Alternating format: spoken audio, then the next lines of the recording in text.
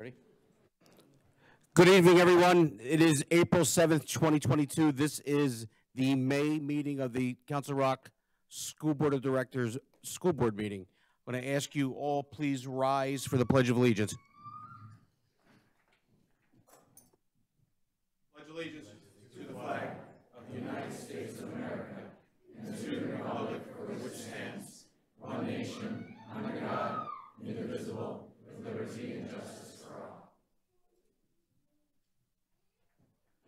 From here, I'd like you to introduce you, ladies and gentlemen, to the Wrightstown Elementary School Choir.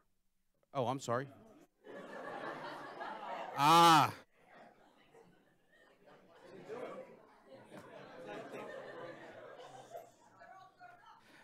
They graduated. They are now at North. And North, uh, I'm sorry, this is the North Voice, ladies and gentlemen.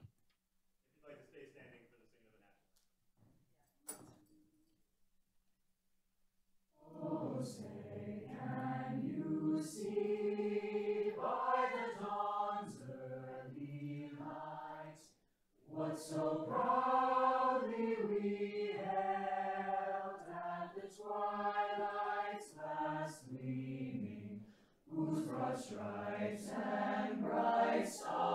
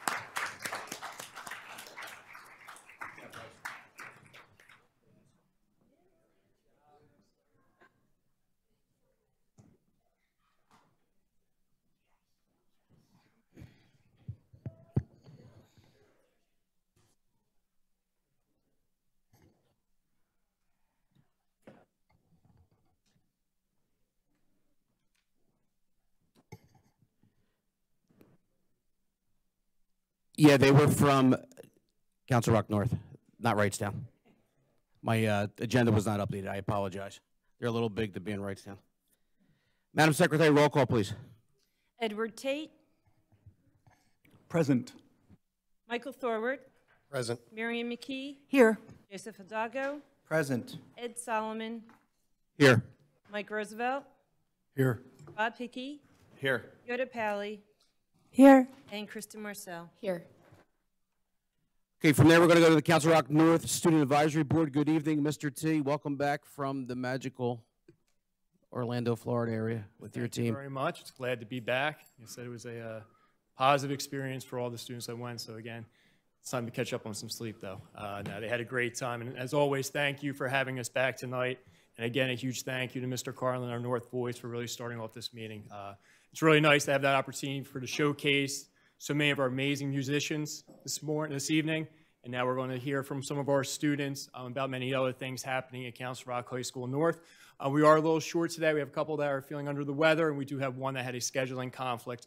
Um, but we are going to get reports for them, and we have Anjali uh, stepping in today as well. So I'm going to pass it on to Anjali Shukla, who is our current senior class president. Hello, everyone. My name is Anjali, as Mr. T said, and I'm Council Rock North Senior Class President. Um, I'm filling in for our Student Advisory Board Representative, Katie Daniels. The senior class wishes her a speedy recovery. So, our Disney trip was from April 19th to April 23rd. It was super successful, and all of our kids had a fantastic time. So, thank you to all the administrators, chaperones, and everyone else who helped the seniors have a great trip. Secondly, prom planning is going very well with our theme being Enchanted Forest, as voted on by the senior class. The North Senior Prom will be on Saturday, May 21st at the Crystal Tea Room in Philadelphia from 6 p.m. to 11 p.m. Ticket sales were four days in April, and we ended up at around, around 400 tickets sold. Um, so we're really looking forward to seeing everyone there. The senior class is also hosting a fundraiser at Mod Pizza in Newtown on Monday, May 16th, and that'll last all day throughout Mod's hours. So please try your best to support. And lastly, the seniors all joined together in wearing their college merchandise or merchandise celebrating their next steps. And I wish the best of luck to the entire class in their endeavors. Thank you for your time. Hi there, and thank you for once again having me. My name is Alex Demetz, senior at Council Rock North, and a level 300 commercial arts student at Middlebucks Institute of Technology. I will once again be reporting on what is happening at Middlebucks, North Choirs, and Sock and Buskin for you. Starting off with Middlebucks, students from various technical schools throughout Pennsylvania, including Middlebucks, competed in the 2022 Skills USA state competitions.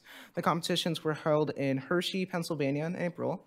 MBIT had 24 competitors participating who earned a total of 15 medals, three gold, six silver, and six bronze. The three MBIT gold medal winners will compete at the National Skills USA Leadership and Skills Conference in Atlanta, Georgia in June 2022. Multimedia students Colin Hussey and Ar- uh, from, oh, excuse me, uh, Hussey from Archbishop Wood and Jerry Demchuk from Central Bucks South, recognized for directing and cinematography for their work on the film Uncomfortable Silence in the 2022 Greenfield Youth Film Festival. Congratulations to them.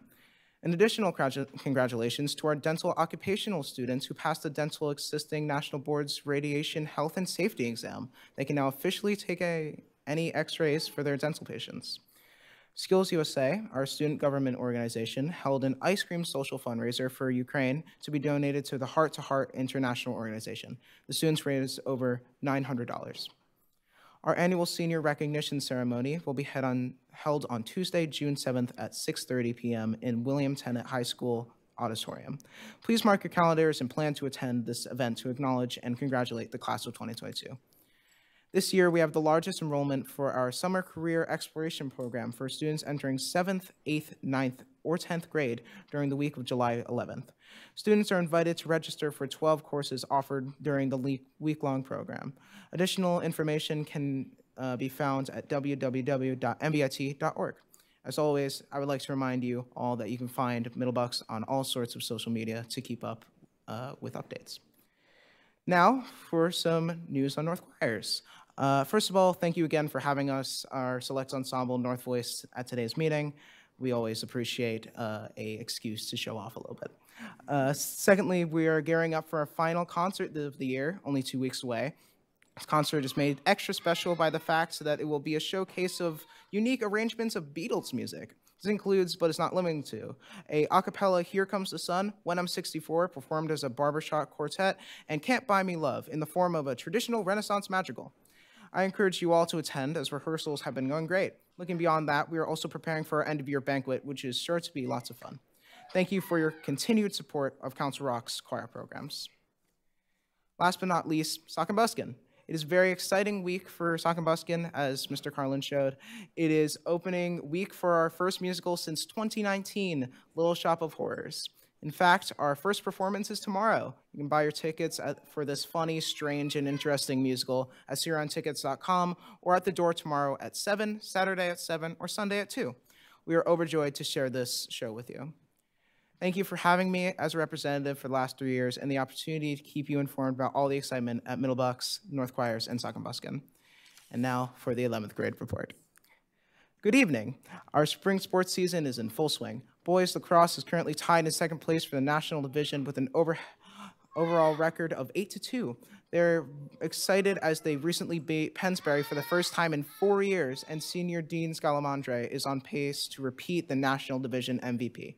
Girls lacrosse has chalked up seven wins this season, which is uh, continuing the positive trend over the past several seasons. Baseball is tied for first place in the Patriot Division. Senior Colin Williams has thrown two no hitters this season, and Austin Stalker leads the team's RIBI and home runs. Nick uh, Frisello is a 3 to 0 as a relief pitcher uh, with 22 strikes out and only two walks. Softball continues to make improvements each day. They played North Penn, the defending state champions, and accomplished things that very few teams have done before. They have been putting the ball in play and making solid defensive plays. Girls track is off to a great start, 3 to 0, started the season in dual meets with many young ladies qualifying for our district meet at the end of the season. In addition, a number of runners were able to participate in the Penn's relay last week. Tennis is currently 5 to 6 with a young team comprised of four freshman starters. They also had a huge win over Pennsbury to move into second place in the league. SOL doubles is quickly approaching, and North has a good chance of moving on to districts.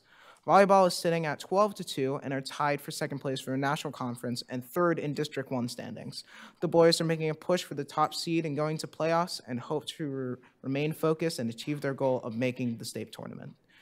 As for the junior class, they just held their prom last weekend at Princeton Hyatt. The students had an amazing, uh, an amazing night of dancing, taking pictures, and spending time as a class. Class elections are quickly approaching, and planning for a senior year will begin shortly. Sorry, I was unable to attend this evening, but look forward to seeing you next year. So, um, our 10th grade representative, Timmy Gracie, was unable to make it today, so I'm going to read his speech. As the school year is coming to an end, advanced placement testing has been going on throughout this past week and will stretch into next week as well. The AP tests are available for sophomores, juniors, and senior students. The students have worked extremely hard this year and will anxiously await to hear their scores this July. In about two weeks, Keystone examinations will be taking place. Students enrolled in Algebra 1, Biology, and 10th grade English will take these at the end of the year. As for the 10th grade class, there is little to say other than that we are very close to the end of the school year and there is only about 26 remaining days of school. Final examinations will be occurring as they always do, stretching over the course of the last few days of the school year. It, is a, it was a great year to be a part of SAB, and I will look forward to meeting you again in the fall. Good evening, everyone. My name is Leland Nagel, and I am the Student Advisory Board representative for the ninth grade class. Today, I will be updating you on the clubs at Council Rock North. To start, our Student Executive Board has had its last major event of the year, Mr. CRN. Each of the boys in the pageant chose a fundraiser to give the money each of them raised to. It was a great success and a fun night for all students who came and watched. Another one of our clubs, GSA, participated in the National Day of Silence, which is a student-led movement to protest against bullying and harassment of LGBTQ plus students. Our FBLA club had their state leadership conference in Hershey, our orchestra had their tour to Germany, and North Choirs had their a cappella at the Rock.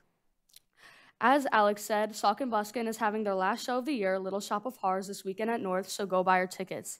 Lastly, our Speech and Debate Club had their wonderful showing at the Tournament of Champions. They had a semifinalist, a third place, and a sixth place. Not only did they do outstanding at the Tournament of Champions, they were also sending 30 kids to nationals and at least eight middle schoolers to middle school nationals. As this year comes to an end, the clubs here at North plan to make next year better than their last. Thank you to teachers for National Teacher Appreciation Day. Thank you for having me.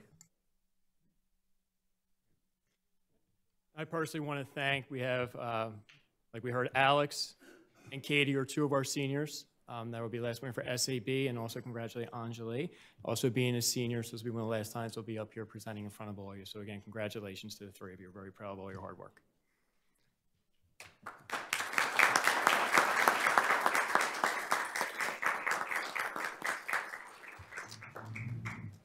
Thank you, Mr. Day. Thank you. Folks, from there, from here, we're going to go to the acting superintendent report with Dr. Elliott. Please bear with her. The voice you're about to hear is real. Um, really bad. Um, good luck. Thank you. Thank you for that wonderful introduction, Mr. Solomon. No, I'm good. I'm going to make it through. Uh, good evening, uh, members of the school board and Council Rock community.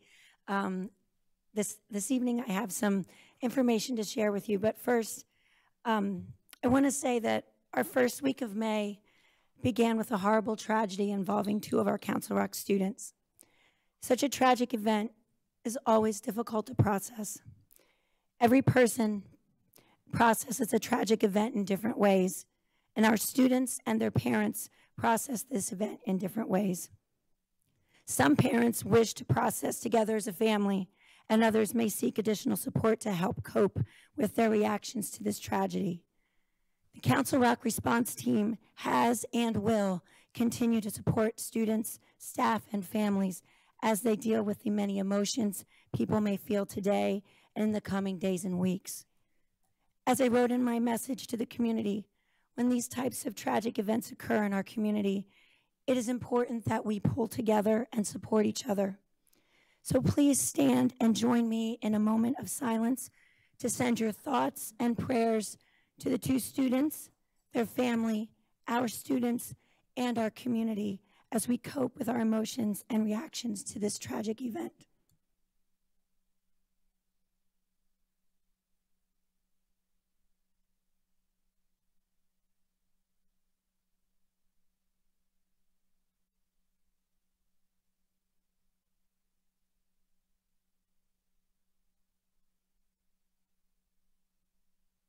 Thank you.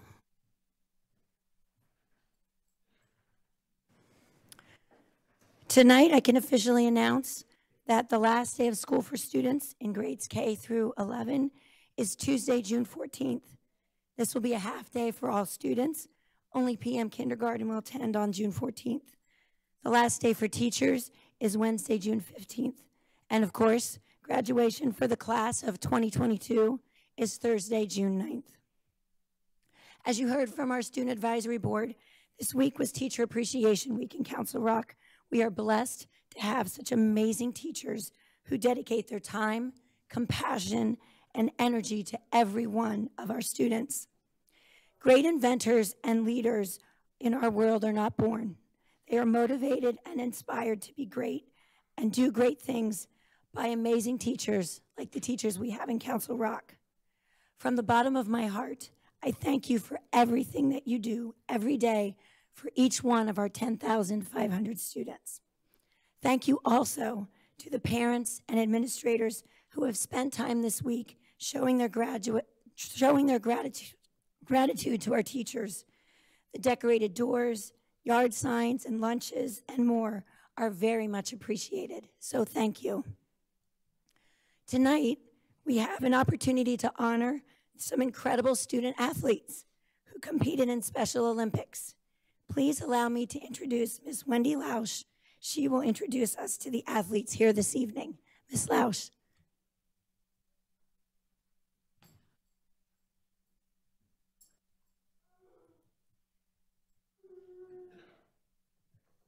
I'd like to welcome everyone. My name is Wendy Lausch. I'm the life skills teacher up at Council Rock High School South. Um, so one of many coaches that have worked with our students to get them ready for this event um, that they enjoy. Um, the event was held this past Saturday at Council Rock North Walter Stadium. The Special Olympics was started almost 50 years ago um, as a day camp for children with intellectual disabilities. The organization now provides year-round training and competitions in a variety of sports to over 5 million athletes worldwide. Although this year was a modified version of the past events, the Council Rock School District still had multiple students, staff, volunteers, coaches from classroom teachers, PE teachers, physical therapists, and support staff.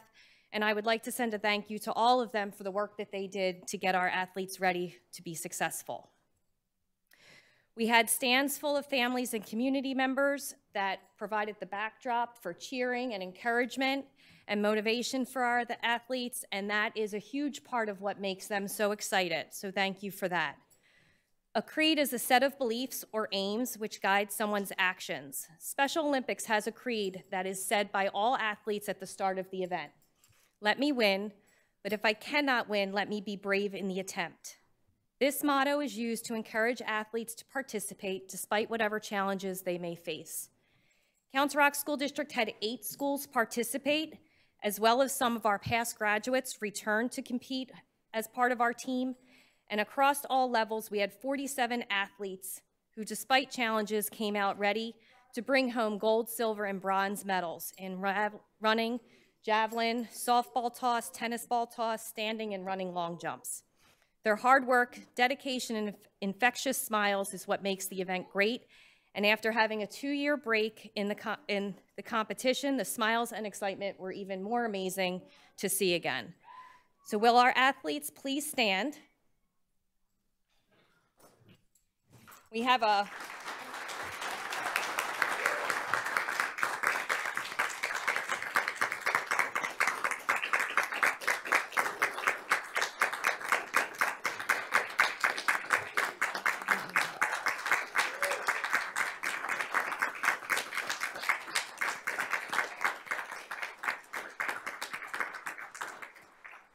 We were lucky enough to have some representatives from our team here tonight. Um, so I do have some certificates for them, if it's okay if I call their names up for their certificate. Michael Joseph. Yes.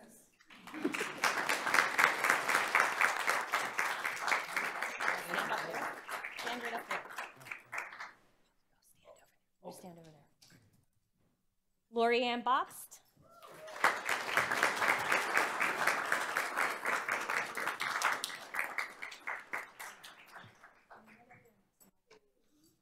Parker Ferguson.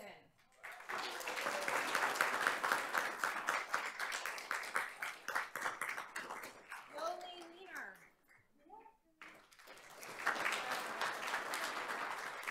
Allison Wyatt.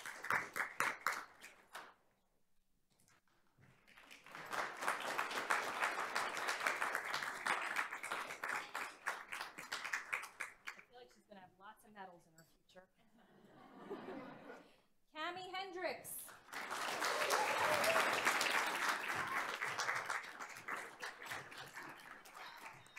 Caitlin Lipinski.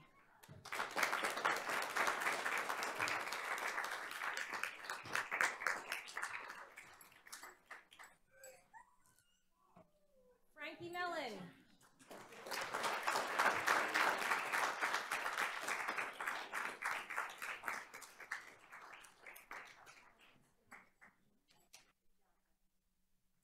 And Wyatt D'Annunzio.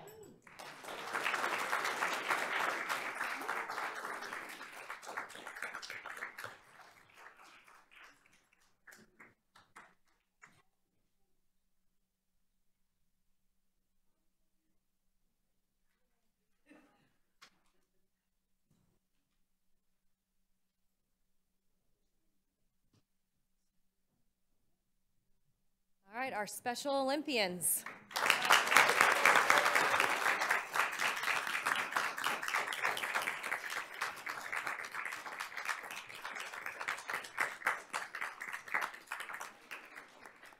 Parents, photos, go ahead.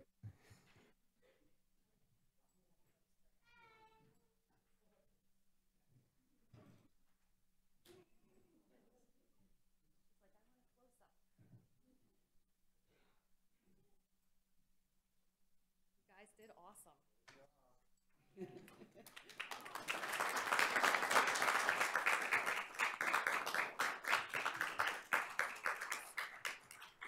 Thank you.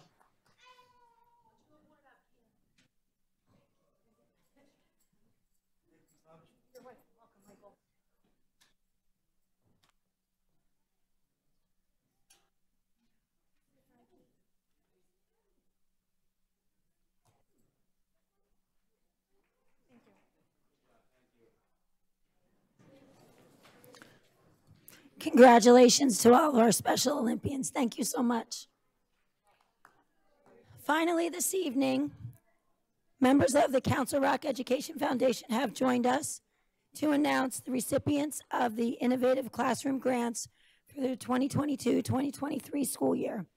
Ms. Jennifer Fastio and our new Executive Director, Ms. Beth Ann DeBosch, have joined us this evening.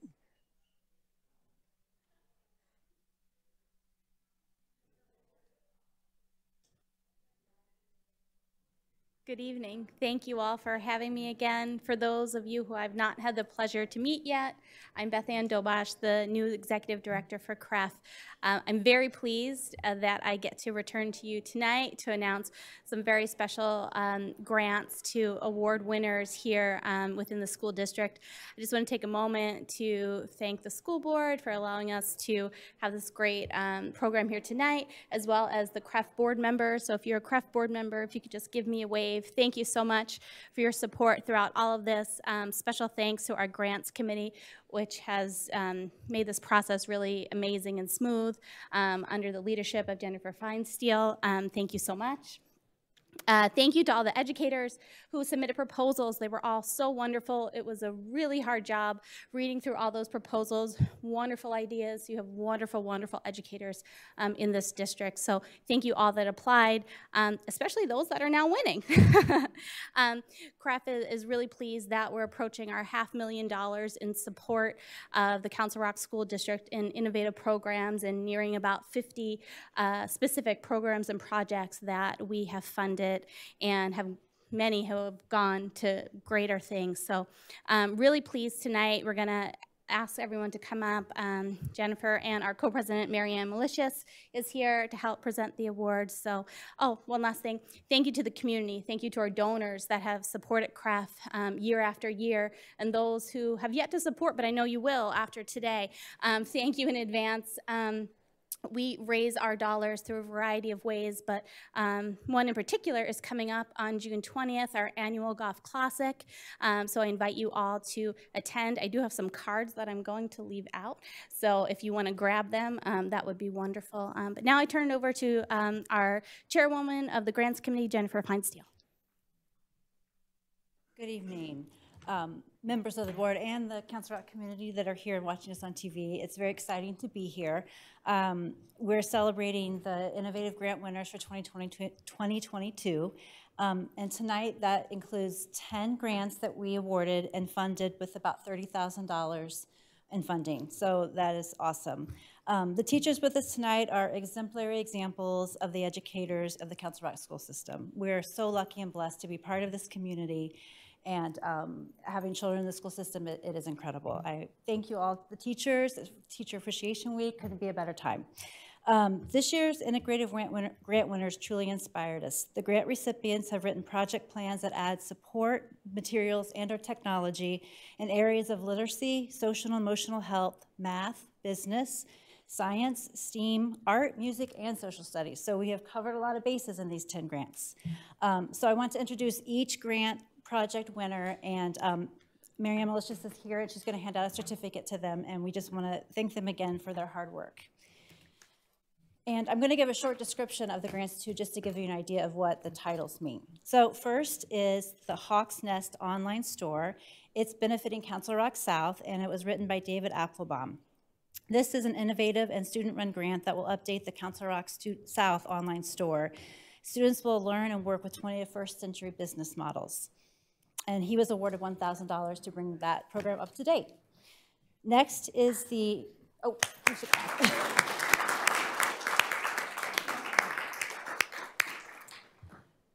Next is the Computer Numerical Control Design Initiative. That's a mouthful. And it is um, for Council Rock North, and Colleen Palmer is the author of that grant. And this is for the art department at North. It's to purchase a tabletop CNC machine to elevate the AP3 design program and support special education students in foundation courses. A CNC machine makes precise cuts, piercings, and engravings that are incorporated into final artworks.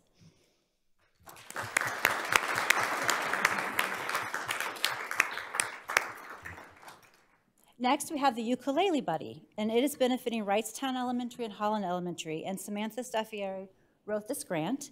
It is um, intended to help people with any ability level to instantly play ukuleles by simply pressing a colored button. So it's allowing students of all, all um, students struggling with fine motor skills, sorry, to, um, to still participate with their peers and um, enjoy that aspect of music class as well.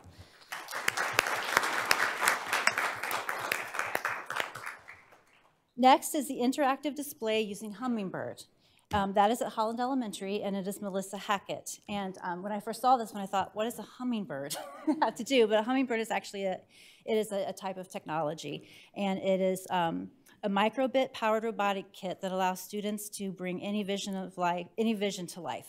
So students will be introduced to interactive displays by learning how to code using the Hummingbird and programs like Microsoft, MakeCode, and Scratch. So it's really a really cool program. Can't wait to see it in action.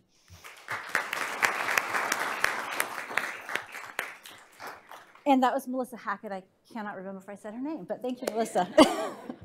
the next one is Off to Class for English Learners. Um, this, this is for the um, Council Rock South, Council Rock North, Holland Middle School, and Newtown Middle School. And it is a um, software toolkit for the ELD program delivery. Um, the curriculum is, is based on recent language acquisition and developmental research. Um, it is for grade 7 to 12, and that is Shannon Hubeck, Kathleen Bound, and Aaron Clerk.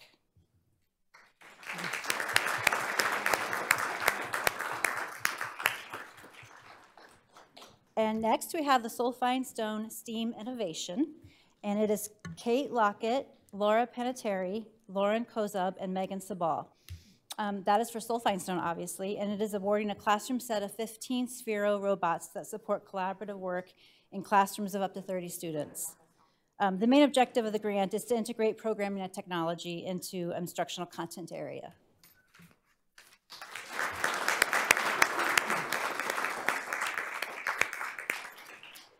Um, our next grant is the outdoor classroom at Newtown Elementary School. It is um, sponsored by Mindy Popescu and Annie Coulihan. Um, this grant is for an outdoor classroom that will be housed at Newtown. It will include an outdoor whiteboard, weather measuring equipment, and preparation for installation of donated stump seating. Um, the outdoor classroom will be utilized for lots of STEAM activities, specifically on the weather units that the students study. So we're very excited about that one.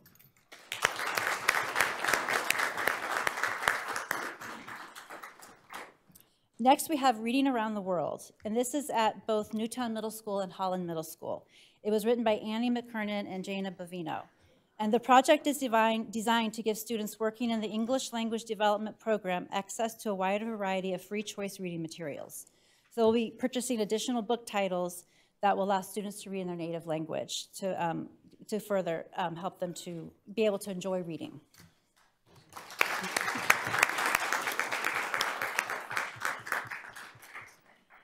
And a similar one using children's literature to support social emotional learning. This is at Hillcrest. It is for the um, whole school. It is um, Alexis Sandberg and Annie Lenicki. And this is a Mind Up curriculum supports social emotional learning to support a post-COVID student population. Um, Hillcrest staff and students will be equipped with knowledge and resources to mindfully approach challenges by facilitating dialogue within the classroom. Um, this will really help address some of the growing number of students who are struggling with anxiety, attention concerns, and emotional regulation.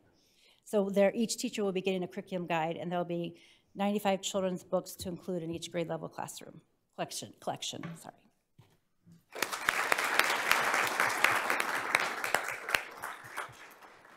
And last is Exploring the World Through VR, and it's um, Newtown Middle School, and virtual reality is VR. Um, it is Mr. Tim Qualley, and the primary purpose of this grant is to allow students to use virtual reality to um, explore science and gain an in-depth understanding of the processes of Earth and space. So students can virtually enter in a full 360 panoramic view another environment anywhere in the world.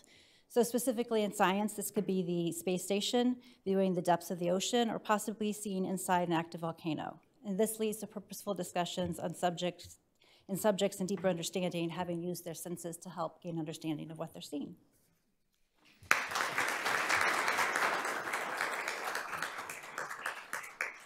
And so we're very excited, and we'll be sure to give you updates over the next year about these exciting grants. Um, thank you to all of those that won and, and those that didn't. You know, we appreciate those grants and hope that you continue to, to write new grants. Um, it, these, these grants really inspire students and make them better learners and, um, and, and individuals in our, in our community. So congratulations and thank you.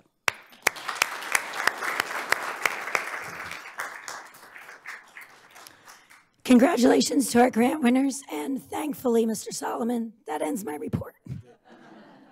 Congratulations, Dr. Elliott. You made it. We'll try to keep it toned down the rest of the night. Uh, Mr. Cox, good evening. Solicitor report, sir.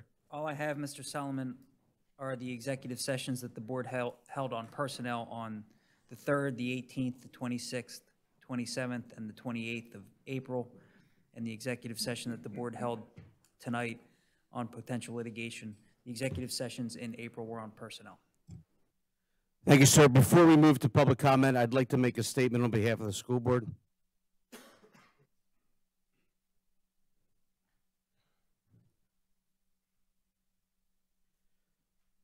Council Rock Board of School Directors, also known as the board, is pleased to provide the following update about the district's search for a new super superintendent. With the assistance of the Bucks County Intermediate Unit, also known as the Bucks IU, the board is engaged in a rigorous process to identify the most ideal candidate to serve as our community's next superintendent. This task is among the most important any board will ever undertake. We thank the community for your participation in this process and offer our commitment to identifying a candidate that will move us forward. To date, the board has surveyed the community for feedback on the desired, desired characteristics of the district's next superintendent and shared those results broadly. We thank everyone who took time to share their perspective. Following the community survey, a customized job posting for the position was developed and shared broadly. The position was shared to local, state, regional, and national job boards and attracted qualified applicants from multiple states. This speaks to the first-class reputation of the Council Rock School District, our staff, and the students we serve.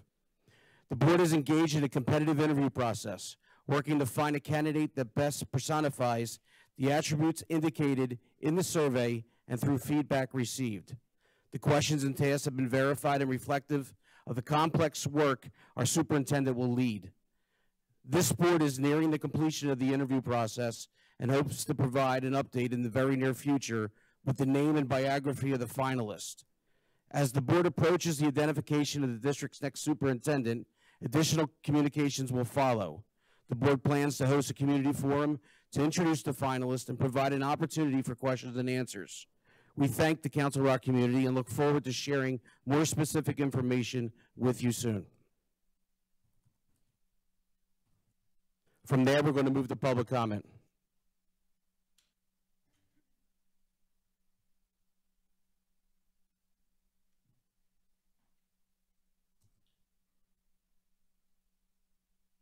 Just as a reminder, public comment is an opportunity for members of the public to address the board. We ask that you limit your comments to no longer than three minutes. Please consider the fact that there may be young children in the audience or watching this broadcast live on CRTV when speaking. It is our goal to maintain a respectful environment so that the members of our community have an equal opportunity to address the board without interruption. While the board welcomes your ideas and will consider them in deliberating an issue, we may not respond to your comments or questions. Mr. Cox, I'll ask you to be the official timekeeper, please. We have six people on the list. They all have checked their agenda items. So first up is Connor. Just state your full name and what township you're from. Good evening. Good evening. My name is Connor McCormick. I'm from Newtown. I'm a sophomore at Council Rock North, and I'm a member of all three choirs at the school.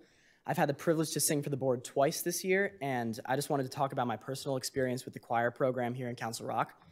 Uh, choir has been a huge part of my experience with this district, and it's one of the main reasons why I'm so incredibly grateful to go to school here. Council Rock's music program is, cons- is consistently exceptional, and part of the reason why it is so successful is because of the number and diversity of the students who take part in it.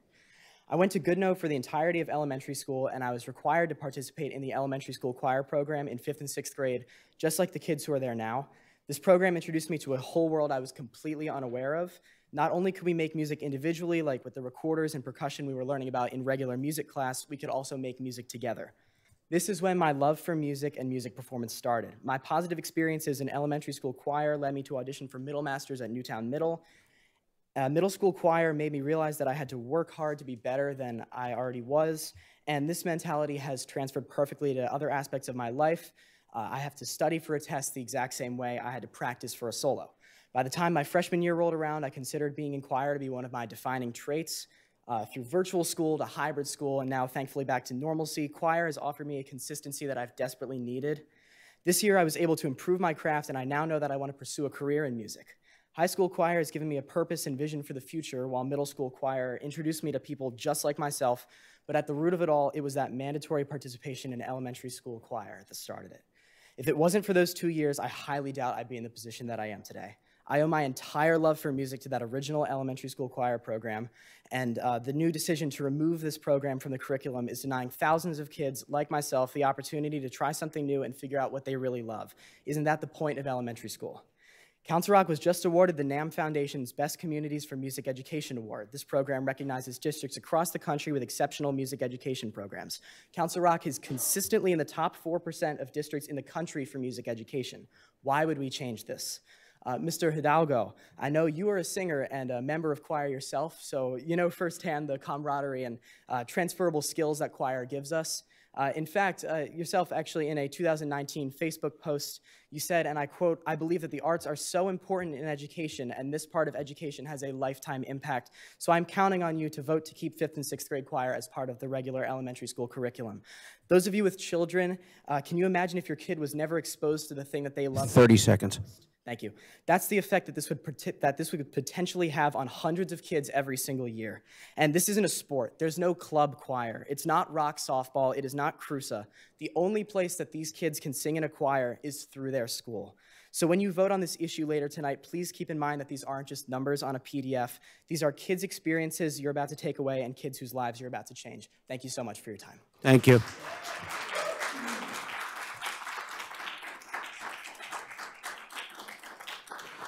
Next up is Simona. Good evening. Just state your last name and what township you're from, please. Hello, my name is Simona Aviton, and I'm from Newtown Township. Okay. Good evening. My name is Simona Aviton, and I am a junior at Council Rock North. Next year, I plan on graduating and pursuing a degree so I can work in biomedical research. But I would not have been able to find this passion without the investigation and inquiry driven environment that STEAM has brought me especially at an elementary level. Therefore, I am here to voice support for the creation of a STEAM special for elementary school students. A critical part of STEAM is experimentation in the lab, which is based upon inherent human curiosity. With this new program, students would be able to investigate a broad range of scientific subjects alongside their peers with the help of teachers to broaden their knowledge. But not only does STEAM education open children to new topics, it also allows students to think both holistically and analytically in order to come to a rational conclusion based on data in the context of an experiment. However, these skills extend even beyond the laboratory. Newly developed critical thinking will allow children to problem solve through obstacles and evaluate evidence in order to make conscious and informed choices for themselves. Also, it is evident that STEAM is one of the fastest growing industries in the US. The US Bureau of Labor Services estimates that jobs in STEAM will grow by 8% in 2029 in comparison to 3.7% in other fields. So, exposing to children to these concepts will help lay a foundation that will contribute to future success. Another large part of STEAM education is the diffusion of knowledge from a variety of subjects. Even the acronym itself, which stands for Science, Technology, Engineering, Art, and Math, represents the interdisciplinary nature of STEAM. Experiments that range from physics to biology and the arts can help students make connections to natural phenomena or things that go on in their daily lives. With this new knowledge, students would be able to find their passions and even begin pursuing higher education and independent research. Once again, this STEAM special will promote both holistic and analytical thinking while introducing students to new concepts to help them find their passions. With this new program, I'm certain that students will create even brighter futures for themselves and contribute to the ever-growing scientific engine that powers both American and global ingenuity. Thank you. Thank you.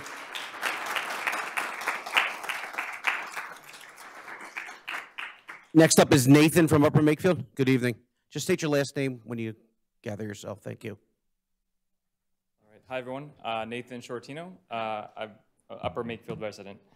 Uh, I'm also here to, to say a few words in support of the STEAM special for elementary schools. Uh, my wife Holly and I live in Washington Crossing. We're parents of a third grader and a fifth grader at Sol Feinstone. Holly's a school psychologist, and I'm a director of clinical operations at a Japanese-based pharmaceutical company. Uh, we've both worked in medical and scientific research for our whole lives, and we're so excited that the board is considering introducing STEAM as a new special in our elementary schools.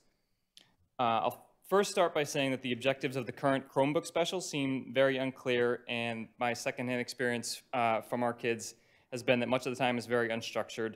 Um, honestly, I think our kids get enough exposure to computers, tablets, phones, and other devices that there's very little added educational value uh, offered by the Chromebook special. By contrast, a well-structured STEAM special would introduce exciting new concepts and practical knowledge to prepare our students for success in the modern world. I'm hopeful that the STEAM curriculum would offer a valuable, hands-on extension of their learning in their core classes, a place where teamwork, problem solving, and critical thinking are encouraged and students have the opportunity to apply the concepts they are learning to real-life solutions together with their classmates. These skills will provide a foundation for Council Rock students to transition to higher education and into meaningful careers. And this is especially important for my daughter and other young women of our community. By placing strong emphasis in a small portion of our budget on STEAM education, we're not only giving Council Rock students a better educa education today, but I truly believe that we're broadening their horizons for greater opportunities in their futures. I strongly encourage all board members to vote in favor of adding a STEAM special. So those are my words. I also have some late breaking remarks from my daughter that came in uh, by text just a few minutes. So remember, she's a third grader at Sol Feinstone. She says she would enjoy if the fifth special was STEAM. She loves STEAM projects, and Chromebook is the and Chromebook special is the most boring thing of her life. she said that uh, that would be really smart to have STEAM as a special. So there's one vote in favor of STEAM Special for our elementary school students. I hope that there will be many more before the night is done. Thank you. Thank you. Next up is Christy from Upper Makefield as well.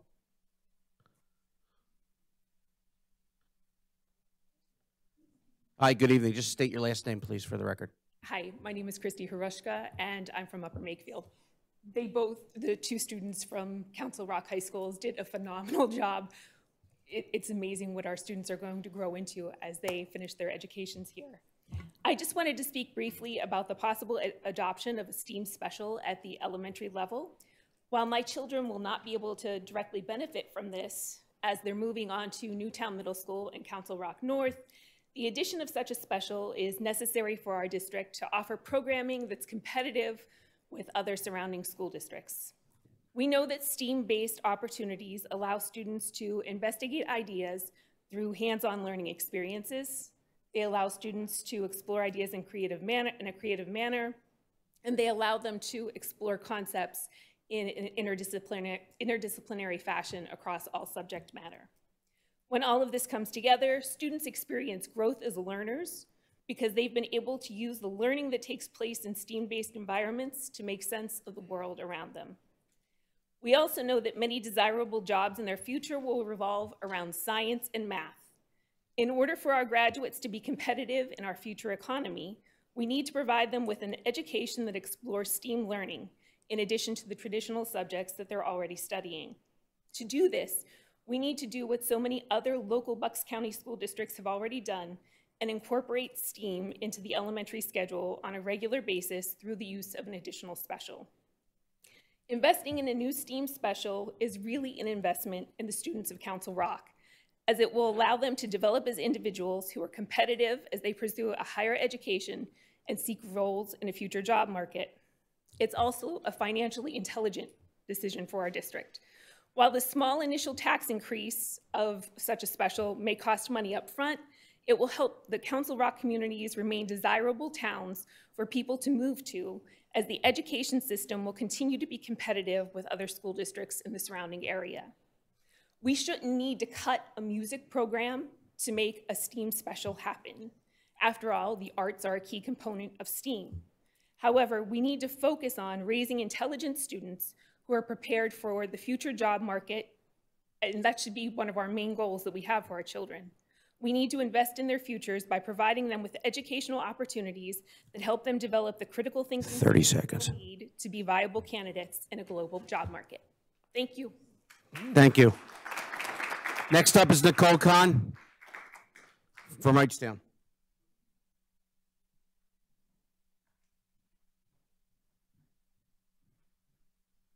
Good evening, everyone. Thank you. Congratulations to all our educator grant winners from CREF. Um, the experience and depth of knowledge that our students will gain is invaluable. So this evening, I, am here to discuss the STEAM program. Um, we want all our kids to get the best education in Council Rock and set up for future success.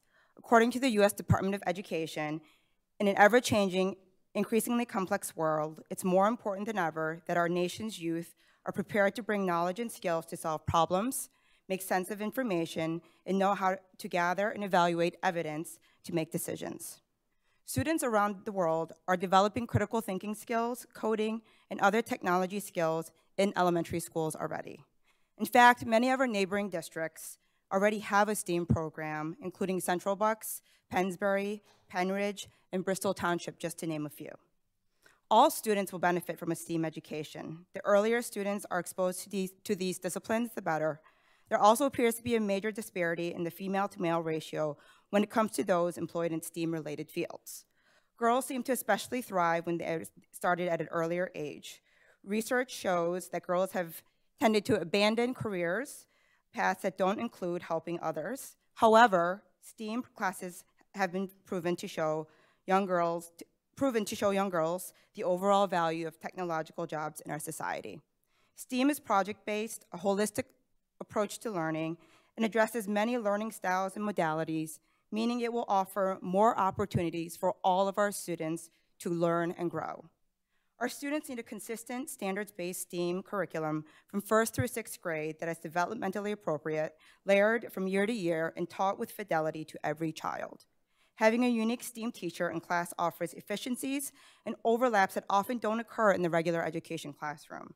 It requires an additional setup time and preparation, much like an art class would. Topics such as co coding, fabrication, and engineering need to be taught by a trained teacher and not just a classroom teacher alone.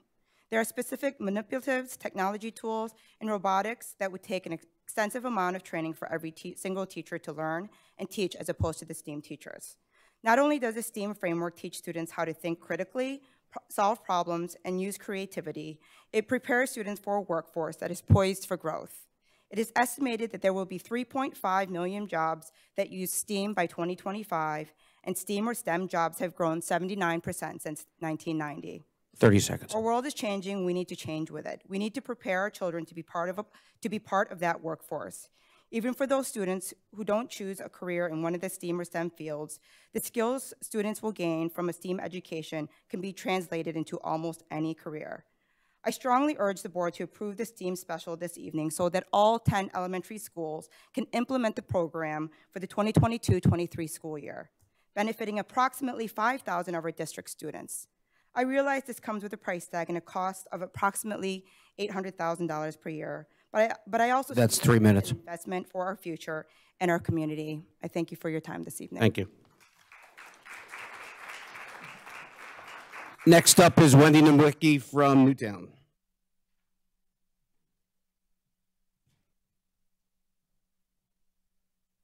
Good evening. Good evening.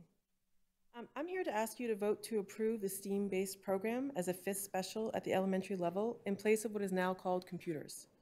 A STEAM program is a multifaceted curriculum that promotes confidence, communication, and perseverance. It helps children see how they can apply their knowledge from many different areas and face the challenges presented to be successful. This is an interdisciplinary special that will also address and help recover that learning loss we have consistently heard so much about. Many surrounding districts, including Central Bucks, Pennsbury, and Bristol, have all had STEAM-based programs for a number of years. Incoming freshmen at Central Bucks High Schools have had STEAM as a fifth special since the first grade. These programs, they are able to provide a STEAM-based program in addition to a robust elementary, elementary choir programs. They are not mutually exclusive. But let's be honest here. I sat in the committee meetings and heard the widespread support for STEAM programs from all of the board members in attendance. We don't really need to discuss the merits of the program, but ways to deal with the perceived obstacles and challenges to implementing it. So what is holding it back? A STEAM program that costs less than half a percent of the school budget is not determining taxes. To be very clear, the taxes need to increase with or without these programs. That is how taxes work. They need to increase nominally each year to keep up with inflation, and at a 7% inflation, we are already on the lower end. Not increasing taxes means we can't fund the existing budget. And I argue that these programs represent money well spent. Please understand that continuing to table decisions until a new, new superintendent is hired is the equivalent to a no vote on this program. Any further delay means it cannot happen for the 22-23 school year. If that is your intention, that is the work of an ineffective and indecisive board. This program is far too important and overdue to wait any longer. It has been discussed and planned for years. Staff has developed plans and curriculum. They are ready to implement this program, and students not, cannot continue to wait. Our district cannot continue to fall behind and fail to provide these opportunities to our children. Thank you. Thank you.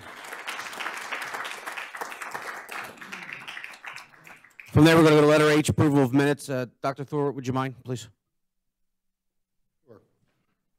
I move to approve the minutes of the meeting of the Board of School Directors held on April 7th, 2022. Second. Second, Mrs. Marcel. Any comments from the board? Any objections? Hearing none, I'm going to ask the secretary unanimous consent with that, please. From there, we're going to move to the Education Committee. Good evening, Mrs. McKay. Thank you, Mr. Salmon. The Education Committee met on April 25th. We had four agenda items that night, beginning with a change to the middle school schedule, which would require moving the RA period from the start of the day to the end of the day, and there was an extended rationale for doing so. This will be an agenda item tonight. Secondly, discussion and presentation of the Elementary Social and Emotional Learning Program. The work for this program began in 2020 and was uh, necessarily interrupted by COVID. There was a committee of 8 to 15 people uh, involved with this work. They surveyed the district to ascertain the needs, uh, and four programs were initially identified and then reviewed, with one program then being recommended. There followed an analysis of cost and time. Elementary counselors reviewed lessons and gave their feedback on the program. The SEL program is not on tonight's agenda due to insufficient support from the board.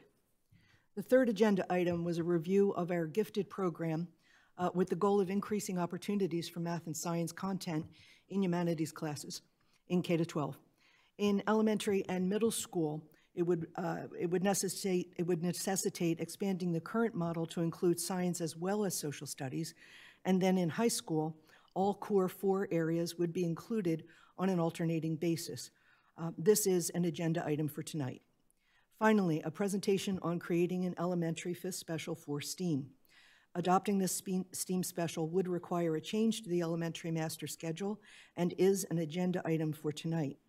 Our next Education Committee meeting will be on May the 19th, and that concludes my report. I therefore move to approve consent agenda items B through L as contained in the attachment to this agenda. Second. Second, Mr. Tate. Point of, point of order. Dr. Thorburn. Not be voting for letter I. Um, Letter I is for legal counsel that I have serious issues with the firm. So we can either break it up or we can do, I'll, I'll look to Mr. Cox, but I, I, I will be a no on that part if you want to do consent. Why don't we pull that item out, Mr. Salomon? Take the others, so B through H. And I'd be happy to amend my motion if that would make it cleaner. Please, Mrs. McKay. I approve, I move to approve uh, agenda items B through H as contained in the report. I Have a second? Second. Mr. Tate with a second. Any comments from the board? B through H. Any objections? All right, hearing none, B through H, unanimous consent.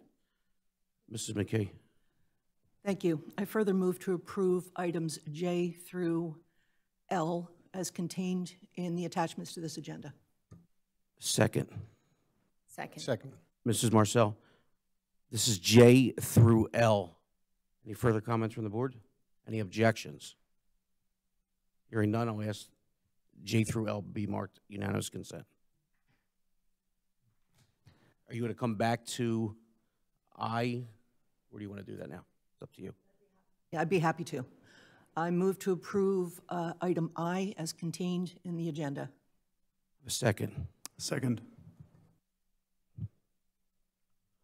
I, I don't need a, ro- I, I don't need a discussion. I just cannot Okay. vote for this one. Anybody else with comment? Nope. No? Okay, go to a roll call with this, please. Michael Thorwart. This is, uh, let me, I, I, par- this is for letter, letter I for the SSKW contract. I'm sorry, please. Michael Thorwart. No. Mary McKee. Yes. Joseph Hidalgo. No. Ed Solomon. No. Michael Roosevelt. No. Bob Hickey. No. Yoda Pally. Abstain. I don't really know much about it. Kristen Marcel. No. And Edward Tate. Yes. Okay, there's two yeses, one abstain, and two, four, six. Six, six, two, four, and one abstained.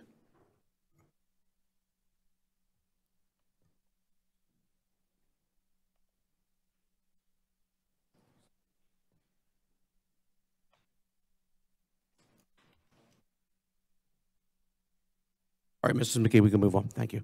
Thank you. I move to approve the revised health and safety plan as attached to this agenda. Second. Second, Dr. Thorwart. Dr. Lambert, would you like to make a comment, sir?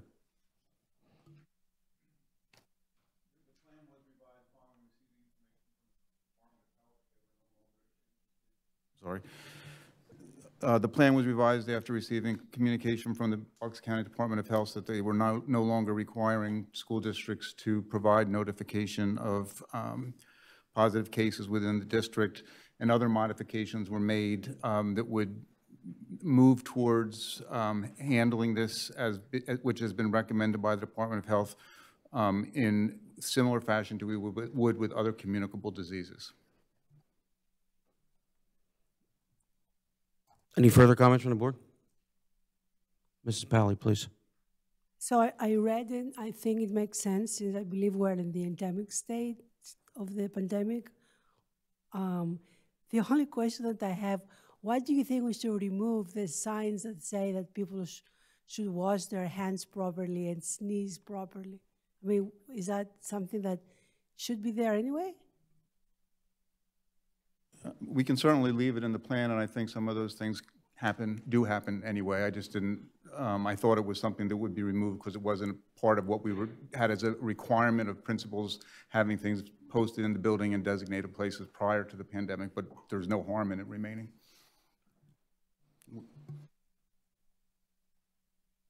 Mr. Hidalgo, please. So we're not saying we have to remove them, you're just saying it's not required. Correct.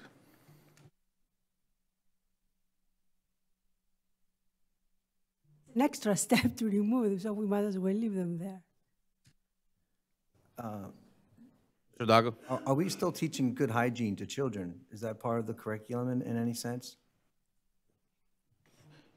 Yes, we still have uh, good expect, expectations for good hygiene with, with our children. Anybody else? Comments?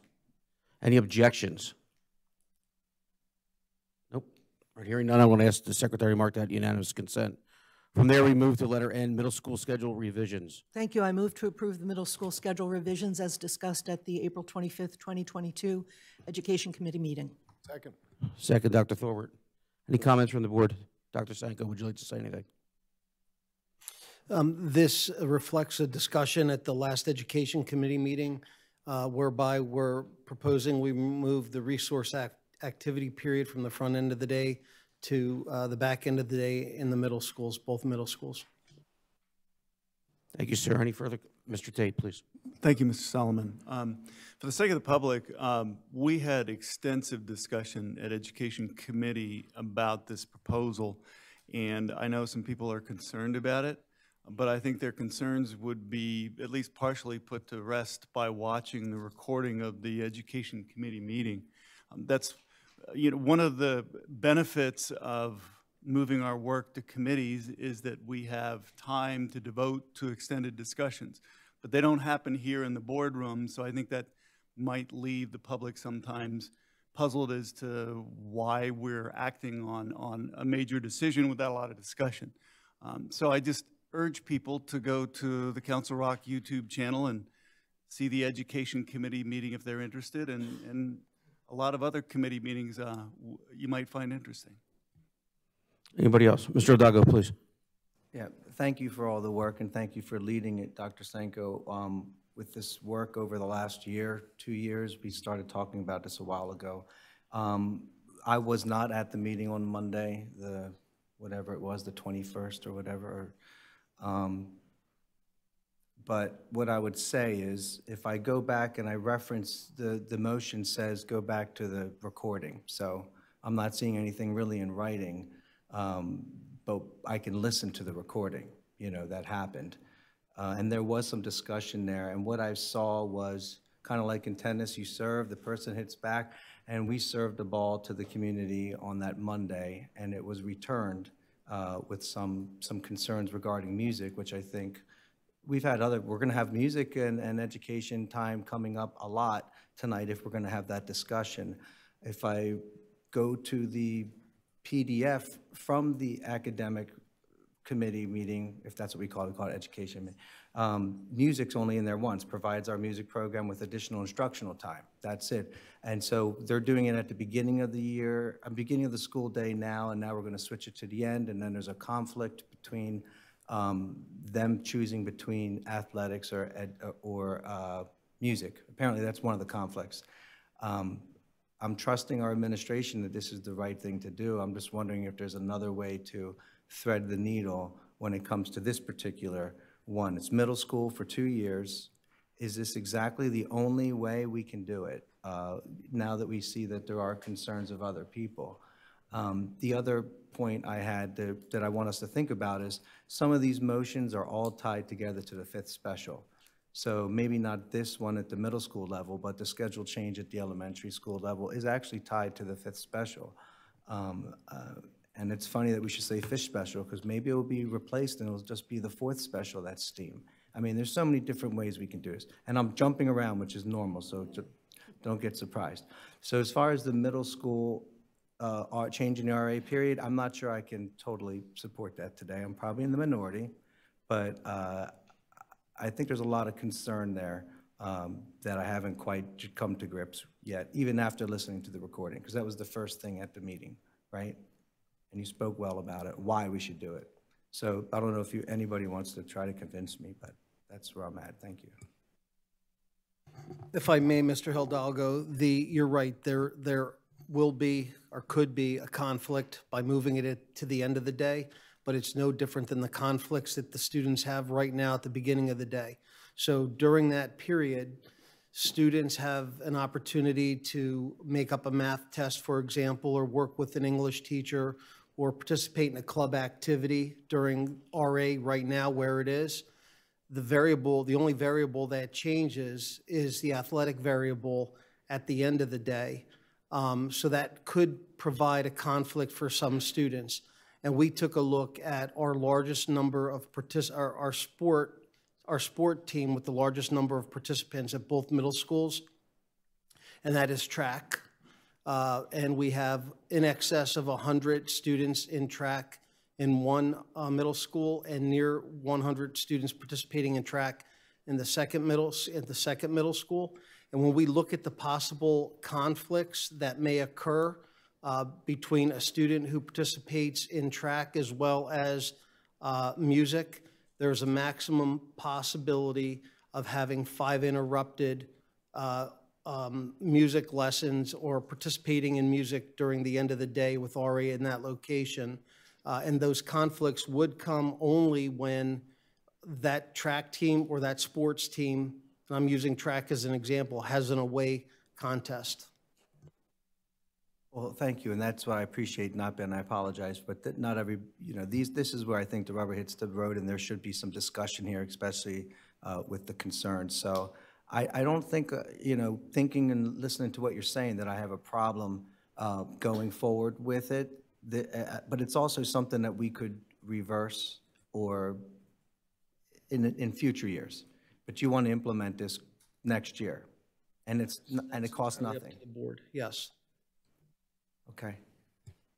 And, and I just might add, um, that example I used with the track team, at one middle school, there are 11 students that would populate both the sports and the music program, and this will be a big deal, or could be a big deal to those 11 students. And at the second middle school, there are nine students uh, that that's true for right now. But again, when we modeled this out, and I'll ask Dr. Elliott if she can jump in on this uh, as well, but when we looked at this and, and did some benchmarking, we, we looked at our, our track team because it has the largest number of participants, and we looked at the number of students that are participating athletically as well as musically. Thank you, Dr. Sanko. And I think I'll add, you know, the middle school administration did a lot of research on students that are in both programs. But the other key piece here is the music programs happen during the RA period. Athletics happen after school. So there is no conflict except for when it's an away game and a student has to leave early for that away game. So they're still going to have access to the music just on the days that they're not away games. So I know you guys fully vetted this out, and I, I trust that was the right, right thing. So I'm, I'm good now. Thank you. Okay, is there any objections? Right, hearing none, I'm going to ask Secretary Market unanimous consent. Mrs. McKee, continue on, please. Thank you. I move to approve the elementary schedule revisions as discussed at the April 25th, 2022 Education Committee meeting. Second. Second, Dr. Thorwart. Any comments from the board? Mr. Hidalgo, please. Similar to the last thing, but this time now we're talking about fifth and sixth grade course. Is, and is that going to go away as a mandatory course? Currently, currently, our fifth and sixth graders participate in chorus. It is not a voluntary program. With the proposed schedule, we, nobody is talking about getting rid of chorus. Nobody is talking about removing chorus. What we're suggesting is that we're going to recapture those choral minutes for grades five and six and relocate chorus somewhere else during the day. Uh, we don't have an exact landing spot at this point. We continue to investigate where it would be. The, what would change uh, for the student is currently all of our fifth graders and sixth graders participate in chorus uh, as a mandatory program. What would change, it would become voluntary.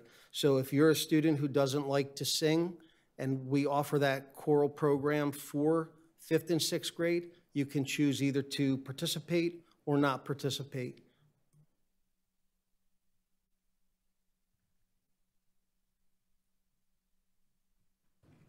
You got the mic, Mr. Hidalgo. I'm, I'm not hundred percent, um, convinced, uh, that we can, that there's, there's no other solution. Uh, other way, okay, what I was saying is, again, this is tied to fifth special. So we can't do this, uh, we have to schedule, do this schedule chain in order for you to implement the fifth special motion, pretty much. You have to find the minutes. Is, am, am I getting this correct? All right, so let's take a look right now at, currently, we offer four specials at the elementary school. Art, music, library, phys ed. And let's, if you just follow along with me, you have one of those specials Monday, Tuesday, Wednesday, Thursday. Right now at the elementary school, Friday in this scenario would be a non-special day. If we add STEAM on Friday, you then would have your fifth special. In order to get that fifth special to fit in there, we would be taking minutes away from our English language arts block, our ELA time. So the challenge becomes if we have the fifth special, that pulls minutes away from ELA. And now if we add core, now if we keep chorus where it's located, we are double dipping into the minutes of the ELA time. So we'd be taking 45 minutes out of English language, language arts for uh, STEAM and the 35 minutes out of language arts for chorus.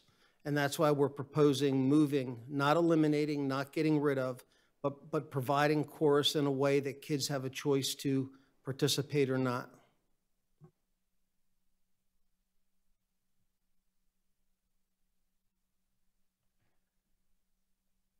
Am I the only one with questions? Uh, We attended the meeting. We were there. We, we heard this already. Anybody else? Mr. Roosevelt. Dr. Sanko, thank you very much for adding additional details to this, con- to these agenda items. I believe that they both alleviate concern as well as um, really capture, I guess, what's being proposed. And I appreciate this additional time. Thank you. Dr. Sanko, I think you made the statement, there's only so many minutes in a day in the elementary schedule. It's packed full.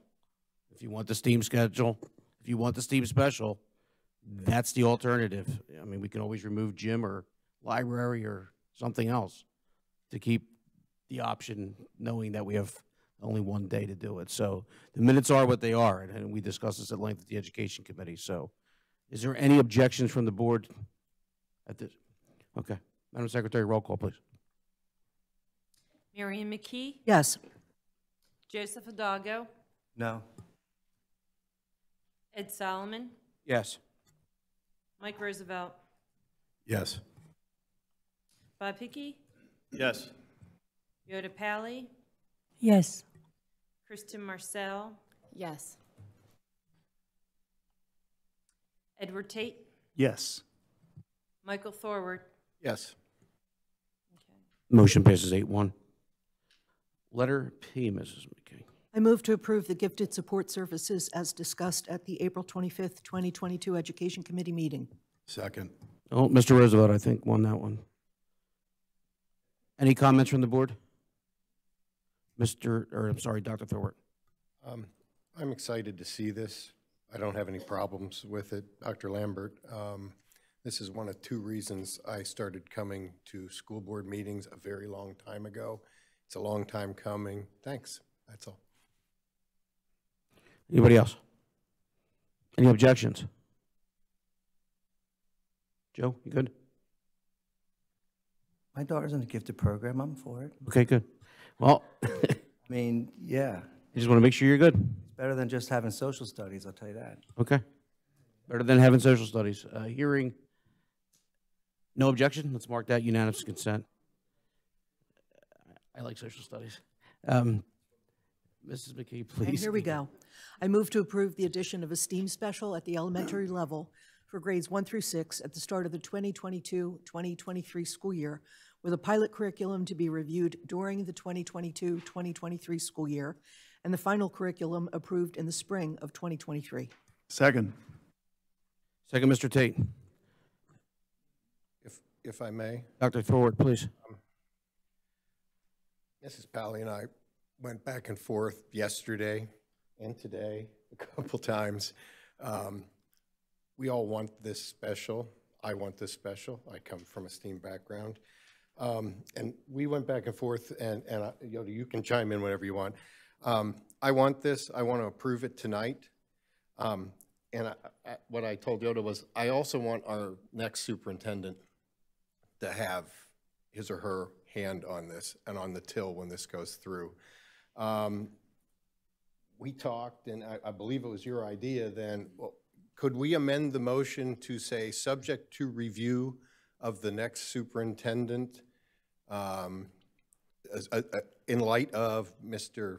Salomon's statement that we're very close now, um, I'd like to approve it now, make it a priority for the next superintendent now, but I'd like them to have final blessing on, on moving forward. So, um, uh, Dr. Elliott, no, no, um, no offense to you, but as you exit, we've got somebody coming in, and, uh, you know, we might as well start this one fresh. So uh, I- that that was a great compromise, and, and I, I would just ask if the motion could be amended to that.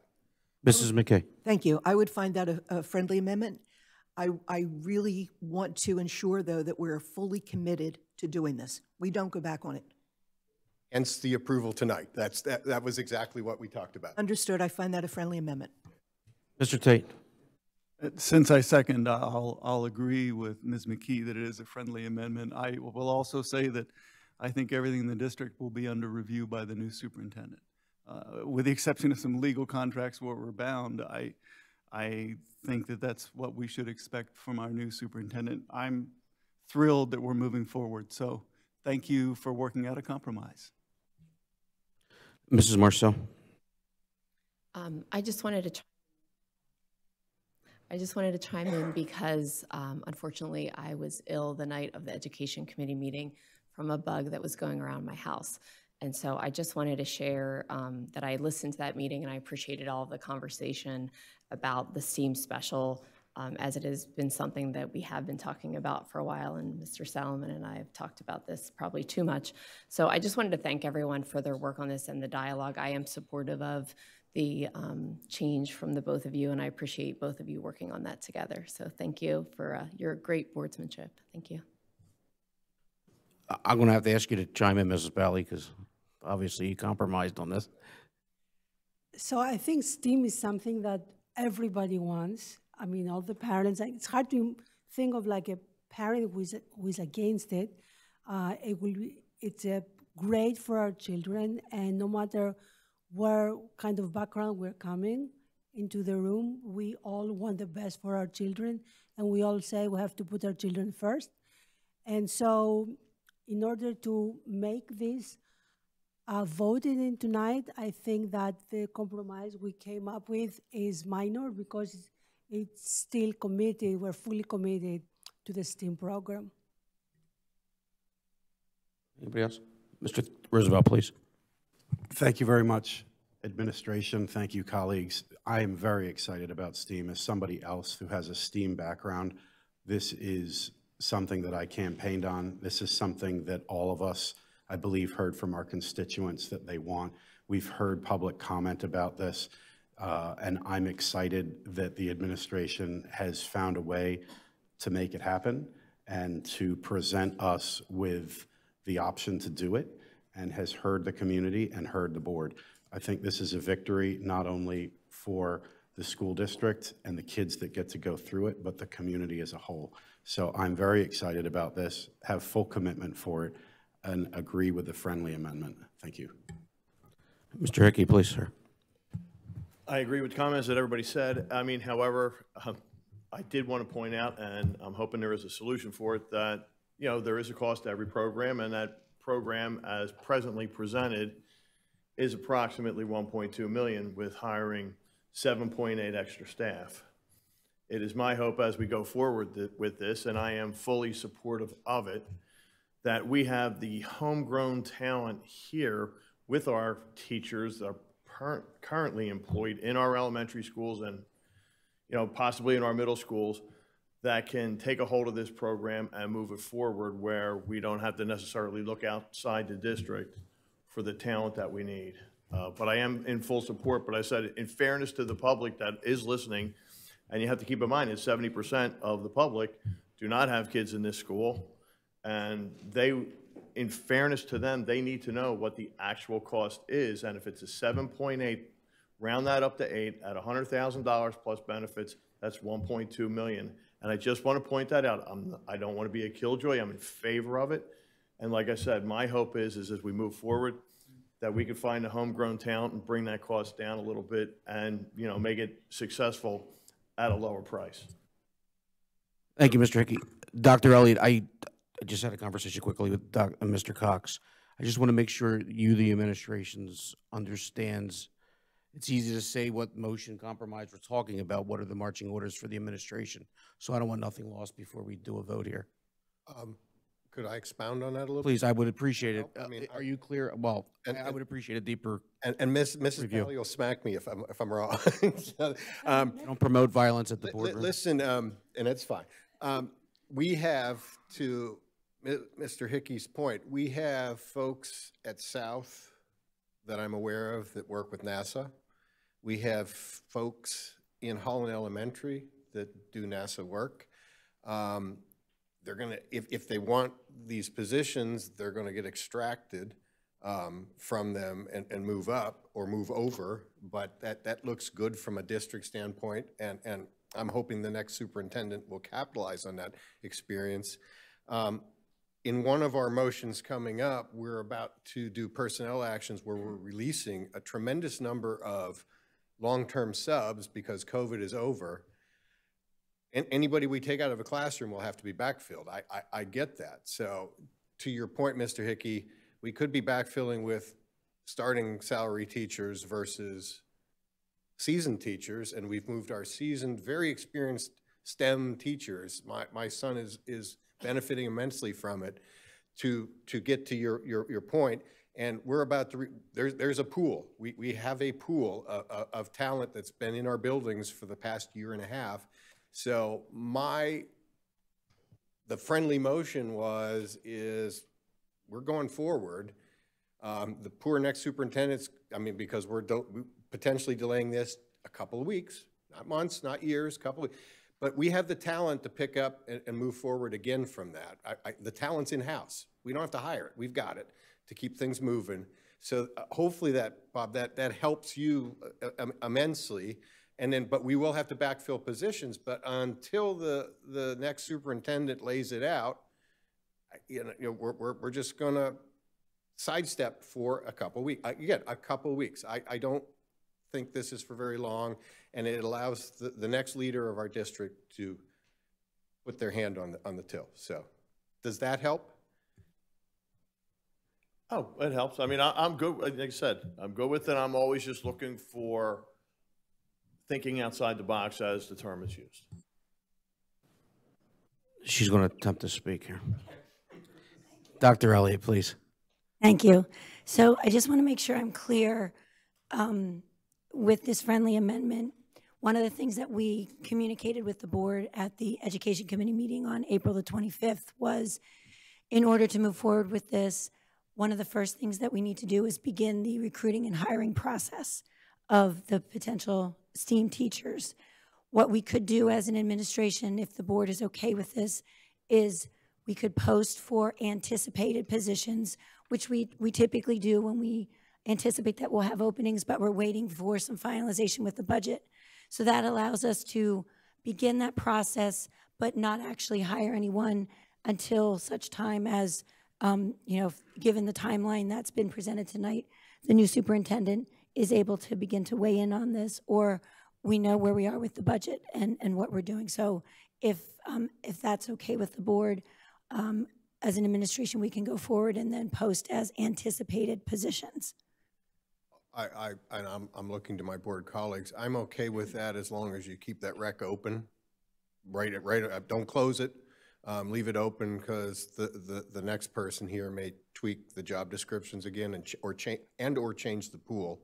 Um, you know, new leaders tend to attract people. So, um, you know, so let's, I, I- I don't, I don't have a problem with, oh, you know, collecting resumes, but I don't know that we want to go further than that. Um, again, a couple weeks, so. Mr. Tate with a finger up, thank you. I um, anticipated that, the heaviest lift of implementing this program would be making personnel decisions. Um, So I wouldn't want to hold up that process beyond what Dr. Elliott just described, which is moving forward with the process and simply not making the hires. So that's a little different than you suggested, Mike, of, of collecting resumes. But, but yeah, I think, I think we shouldn't impede the process um, to the point where, as Dr. Elliott said, we don't make the hires until we have the budget and the new superintendent can approve the hires. I, I actually think the biggest hurdle will be developing the curriculum, but we, we, we can disagree on that. I mean, I, I think we've got a, a monstrous pool of, of talent available, so. Mr. Hidalgo. Yeah, and I would say, you just don't close the, the, the opening for the pool, you know, the collection time until, you know, we leave it open-ended for the time being, resumes, collecting the resumes. Um, I just wanted to make a general statement that since I got on the school board, I've also been very big proponent of, of STEAM. It was STEM, and we made it STEAM um, because of my background and my, uh, my education. It's very important to me, and it works in everyday life, so works in many, many ways.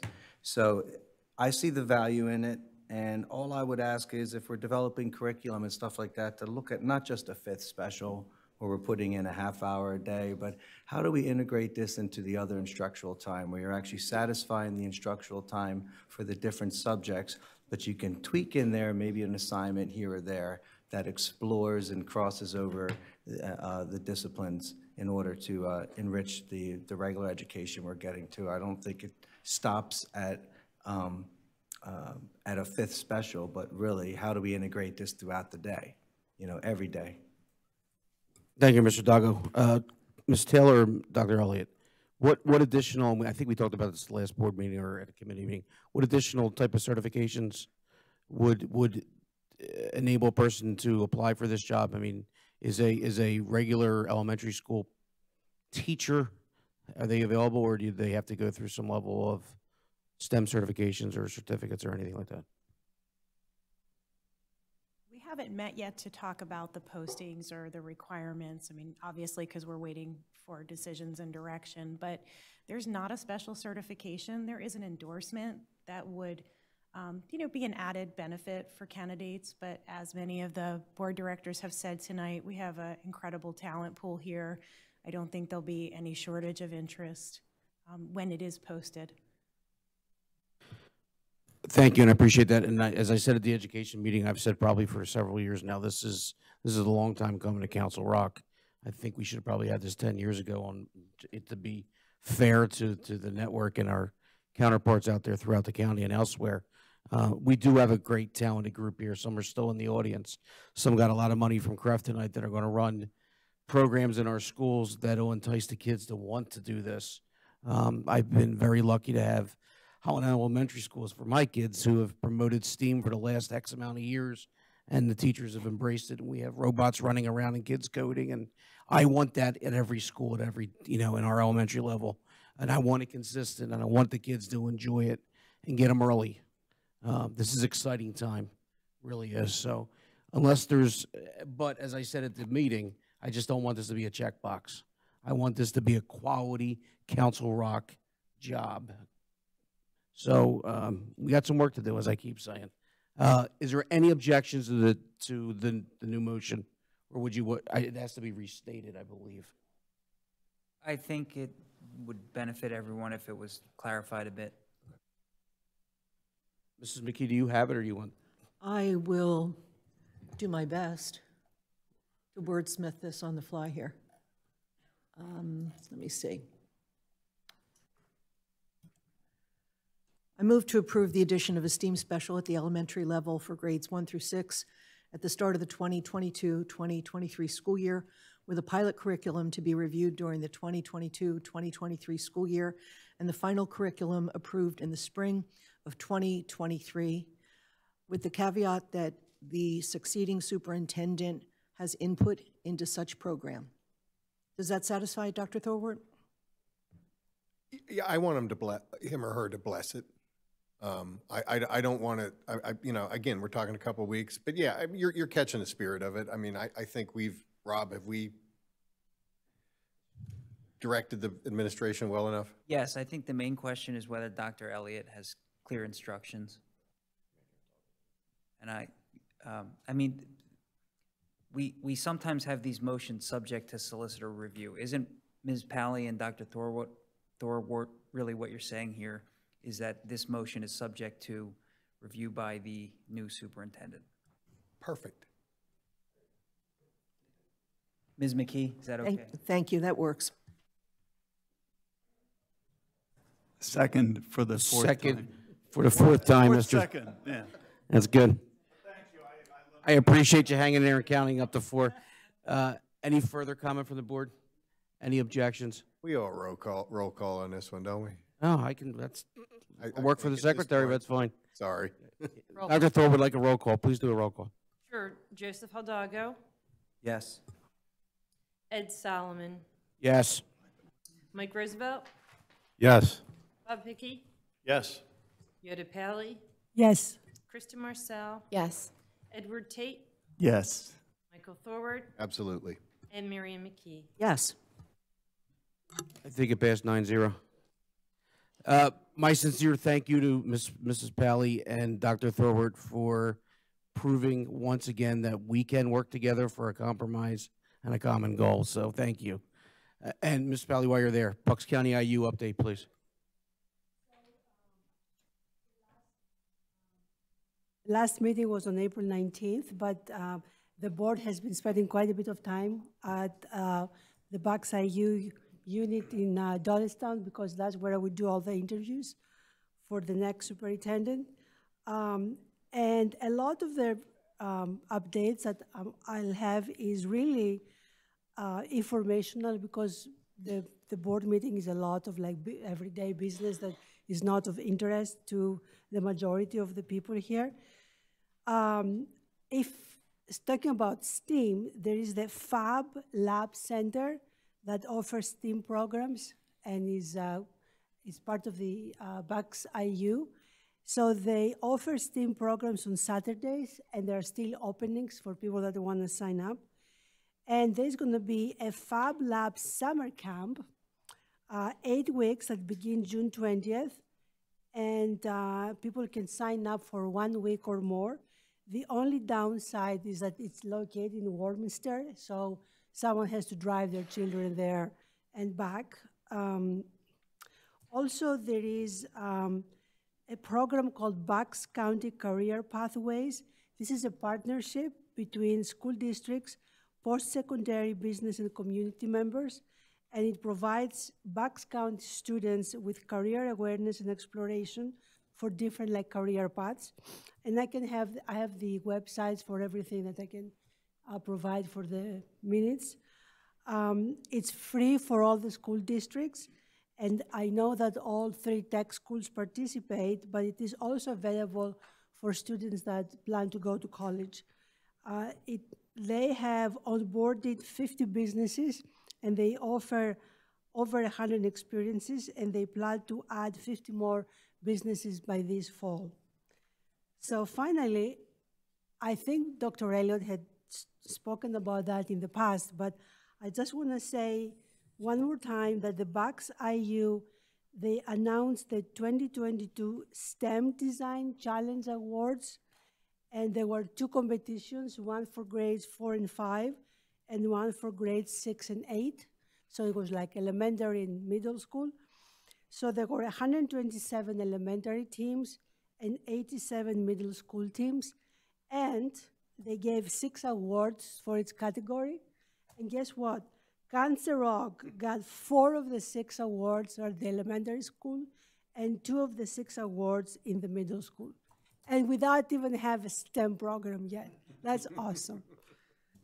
So congratulations to all the winners, of course. And the next IU um, board meeting is on May 16th because May 17th is election day that we normally meet on Tuesdays. Thank you, ma'am. From there, we're going to MBIT. Is it Mr. Hickey, Mrs. Moore? Oh, she's pointing the finger. Mr. Hickey, please. Uh, Actually, uh, we're fortunate here, and once again, Mr. Demetz did a wonderful job of telling what's happening at MBIT and the successes that they've had. Um, Ms. Marcel and I both participated in the Committee of the Whole meeting uh, earlier this week uh, remotely. Uh, We couldn't be there. Um, Unfortunately, we don't have our regular committee meeting until next week, so from what I reported last month, I really don't have a whole lot to do, you know, report, we've just been going over, you know, the budget and everything else, but um, nothing's been finalized, like I said, we'll have more to report after next week. Okay, thank you, sir. We're going to go down to CREF after a wonderful evening of prizes and awards and Mr. Not, Tate. not much more to be said, other than, um, I think we've seen some amazing innovation and creativity from our teachers. The robots at Holland, I think, the first ones were bought with uh, CREF grant money. Um, And, uh, you know, our teachers have been doing STEM, they're good at it, and giving them more time and resources, I think, is a wonderful thing. And We, we saw that tonight. The only other thing I'll mention about uh, CREF is, uh, you may get tired of me talking about the golf outing, but it's June 20, and if anybody wants to sign up a foursome, please see me, not Ms. Marcel, because she, in, at this point, enjoys a wide margin in our contest for signing up the most uh, foursome. So um, please do support the golf outing. Thank you very much. Thank you, sir. Policy Committee, Dr. Thorwart, please. Um, We have canceled the policy meeting that would have been this coming Monday. Um, There is a policy lingering. Uh, Mr. Harris has a wellness policy. Um, Budget kind of took a higher score than that. So we will have one in, the- in, in the coming weeks. Go ahead and, Yes, uh, Dr. Thor, we will have a, a board policy for review uh, following discussion with the Food Service Advisory Committee. So one of the functions of the Food Service Advisory Committee serves as the, the default wellness committee. So we want to get those ideas and requirements to them to get an actionable policy to the board. yeah, that, that's fine. This, this one should not be confrontational at all, so we'll, we'll get to it when we, when we need it. All right, thank you, sir. From there, we're going to move to Finance Committee. Mr. Hidalgo, please. Thank you, Mr. Solomon. Uh, The Finance Committee met on April 21st, and at that meeting, we had a lot of housekeeping items that were uh, put up for consent agenda tonight, uh, approving the Middle Bucks MBIT proposed budget resolution, um, Food Services Management uh, Company renewal contract, accepting the Giant Feeding School Kids Program Awards, uh, food service equipment purchases, and some van purchasing uh, discussion. And then we had some discussions on the budget update from Mr. Harris, very good, uh, the wellness policy that was just spoke about, and uh, a transportation subsidy update. Uh, So with that, if you have nothing to add, then I'm, go ahead, Mr. Harris. Yeah, Mr. Hidalgo, I'd like to add uh, that on items H and I, uh, the, the board did authorize me to purchase a a gently used 2016 Ford van, which is part of the bid specification. And in order to take possession of that used vehicle, we needed to execute the purchase prior to the board meeting. So we're asking for a ratification of that action. And to provide some clarity with the approval of the van bid award, if you look at the PDF, uh, none of the bidders can guarantee delivery. So uh, it would not be wise for me to uh, recommend an award of a bid to a particular company who cannot uh, produce a vehicle whose rubber is actually on the lot. So we are exploring other options regarding used vans, and we continue to take uh, calls from vendors who have gently used vans similar to the ones that we presented to the board previously. So uh, with the board's indulgence, uh, you, we may have an action to ratify in June to satisfy the second of the two vans that have been approved. So I just wanted to clarify that, that that's, the, the board is approving the, the bid tally and, uh, and ratifying the action. And then uh, I hope to have an additional van uh, by June. Any other additional comment from the board? All right. Ma- Make the motion, Joe. Mr. Harris, is that, was that H you just were speaking to, Mr. Harris? Yes, sir.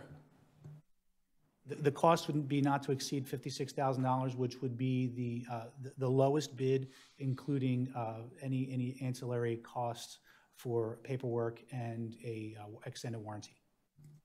I'm, I'm sorry to, to belabor this, Mr. Harris, and put you on the spot. Is that, um, is that vehicle listed on the PDF? You'll notice that the proposed unit prices are north of that. And given the market conditions, we, I wanted to give the board the best chance to purchase the best vehicle possible. Just for my clarification, are we talking about the 2016 van or the van bid award on H? We are currently talking about the van bid award on H. Okay. Is the board purchasing any of those four vehicles listed on that PDF? The board is purchasing the vehicle on uh, n- number two, Fred Bean Chevrolet, uh, the 2016 Ford Transit. uh, Price is $40,083, and that's in the second motion. Got it. Thank you for that, Mr. Harris. Sorry to belabor it. Is the motion good as it is? No, you need to read the motion, sir. To read the motion. Oh, yeah, I'll read the motion. Just want to make sure I don't have to modify what's on there as a consent agenda item, right? All right, and just to say, the next board meeting is the 12th of May. Um, With that, let me go back to it. I move to approve consent agenda items B through J as contained in the attachment to this agenda. Second. Second, Mrs. Marcel. Any further comments from the board? Any objections? Hearing none, I ask the secretary to mark that unanimous, please. Continue, Mr. Hidalgo. Um, I'll just go with reading the motion. Uh, I move to approve the proposed final general budget 2022-2023. Mr. Harris. We need a second. Second, Mrs. Pally. You have a presentation, sir, correct?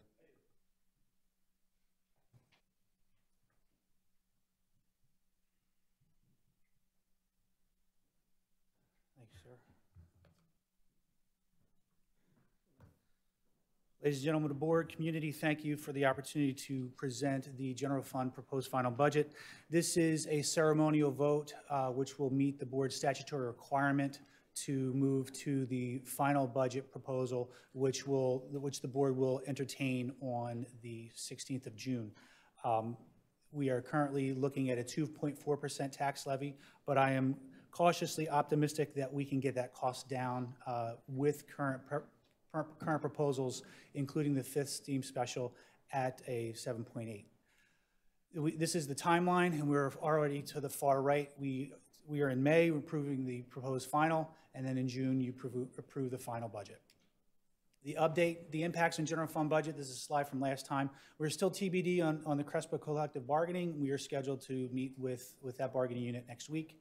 Uh, Transportation contractor, uh, Mr. Ziegler is in the audience, or was in the audience earlier. Uh, He, he bids his regards. They already had meet and greets with existing employees. Uh, Those selected costs have been baked into the transportation budget. Insurance renewals, they will come before the board for consideration uh, next week. We have, we will have a guest with our insurance broker to discuss uh, additional optional coverages, but early estimates, it's, it's, it's about $50,000 more than it was last year, uh, and a majority of that is our property liability because we've added square footage to some of our buildings, and the increases to our cyber liability. Uh, We spent about $1.1 million in insurance total per year. Energy agreements are out to bid, and Mr. Taylor and his team are very, uh, fleshing that out quite nicely. Uh, Staffing, we will have an update on our elementary enrollment after June 1st, so any additional elementary sections that we might need uh, to add we will, we will advise the board accordingly. The attrition and retirements have been added into the budget, as well as the new initi- initiatives, STEAM, math, ELD, and gifted support. What is in the budget? We, we propose to maintain our current staffing. We propose to have 7.8 FTE full-time equivalents for STEAM, two FTEs for English language development, two, one, one FTE for math support, three FTEs for special ed, and we're also looking to include the two counselors from the PCCD grant that were previously on uh, th- that state grant-funded money. We are also uh, looking to provide the gifted support. We are looking to implement the salary breakage, which was approximately $1.1 million. Uh, We're looking to implement the SEL program, or at least have an allocation in the budget for it for whatever the board decides to approve. Uh, The software upgrades, the transportation contract costs, the complement, the contemplation of capital borrowing for projects now and in the future, as well as the continuation of the capital transfers for summer work. Uh, We, it also does include a $1.2 million budgetary reserve, and this is allowable under PDE regulations for any unforeseen expenses that the board may see, deem fit pending the administration's recommendation of a budgetary transfer. And then there's a continuation of current, professional substitute rates. And uh, Mrs. Taylor and I have, have, have been watching that, that ball very carefully. Uh, Our, our, our fill rate continues to be high, and uh, we have very few complaints from, from our teachers, and that means there are few, fewer kids in cafeterias and auditoriums uh, being supervised by groups of teachers who uh, we can't provide coverage for. I'll stop there for questions. Hearing none? Mandated costs, I, I just wanted to remind the board and the community that we do have a significant amount of mandated costs. And the hyperlink does take you to a document that was, uh, that was delved out by, carved out by the Bucks County Intermediate Unit a couple of years ago. And it does detail some of the mandated costs and gives the, the state and, and federal mandate that, the law that supports it. PSERS is one of our largest cost increases, contractual costs for, for, our- for our labor and services, fringe benefit costs. Fortunately, we are flat on, on our medical spend this year. Charter school tuition continues to be a, a wild card in our, in our budget calculations, and we are optimistic that several students who enjoy placement in charter school or cyber charter school, uh, and this is just my plug, there's no education like a Council Rock education. I think uh, the, the parents will find that the return to normalcy will be a, a- welcomed uh, option for students who are currently in charter school or cyber charter school. Special education expenses are also a wild card. Other mandated costs, anything that says shall, the district shall, school boards shall, teachers shall, in any policy code or statute, we don't have an option. If it says may, we have an option. And Council Rock has, has a, a- a tendency to, to include the mays and mo- remove the mays when, when it's no longer prudent. And then examples for shall provide, which, which is non-public transportation, safety and security needs, homeless supports, et cetera. And you can see additional detail in the, P- the PA mandate document below. Questions on mandated costs? Okay, the proposed tax levy stands at 2.4%. That was the feedback that I got at the last board meeting, or the finance meeting, understanding that any additional revenues or salary breakage that we could entertain would then lower the tax levy. So currently, at, at the time of print, okay, so there are a couple of updates that that I'm, I'm pleased to report to the board. Um, The, we- the impact to the taxpayer for the average taxpayer is $123 a year. So your tax bill, if your property is valued at $38,800, and that's the number on your tax bill, not on your mortgage, uh, your, your tax bill is going up approximately $123.67. Questions there? We decided to use the, to pay for the initiatives in the budget, we're going to use attrition to pay for additional staff. And if you see the retirement breakage, there's about 1.1, almost 1.2 million dollars. And the bottom line, all, all of the things that we talked about earlier in the budget, the additional cost to the 23, 2023 budget, salary and benefits, was approximately $408,000. So due to the retirements, replacing those teachers who are exiting, staff members who are exiting at a higher, higher salary and replacing them with a lower salary, the understanding is that even if a, a, current member of the staff were to move into some of those positions, we would replace those staff members with a, a- lesser salary. That's the assumption we're making here. I'll pause here for questions. Comparison of 21, 22 approved budget to the 22, 23 budget. If you look at the total revenues, they're going up approximately 4.018%. That includes the 2.4 real estate tax. Uh, We're, we're, we're, we will be enjoying an additional transportation subsidy, and we are forecasting a slight increase in basic ed and special ed. Those are two wild cards that the, the Pennsylvania legislature still has to weigh in on. And if the governor can get the budget approved as pre- previously released in February, the district stands to gain about $2 million in basic ed funding. I'm, I'm, my understanding is dead on arrival, but just like compromises were made tonight, you never know what can happen to Harrisburg. So the, the largest area of, of increase are the 300s and 400s, that's property service uh, and the purchase services. We have the forecast sub-pay increase in computer repairs, as well as the professional services increase for custodial. And we are forecasting a, a, a- an inflationary cost increase for utility and, and fuel. We're hoping to leverage that with the bids, bid specs that we, we, we've offered, but you never know. We, we're not in the, we're not in the business of buying, uh, fuel futures. Uh, we're not Southwest Airlines, so, uh, I, I don't, I don't want to do that kind of speculation.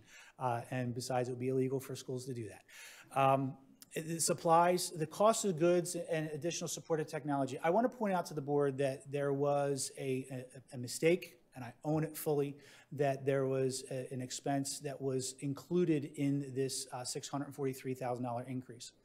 So if you bring down to the bottom line, the budget is, the difference in the budget from the expenses to the revenues is a delta of about $308,000.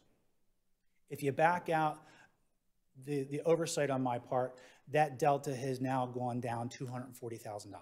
So we're talking about $50,000 difference between revenue and spend if you, if the board were to to decide to enact a 2.4% tax increase.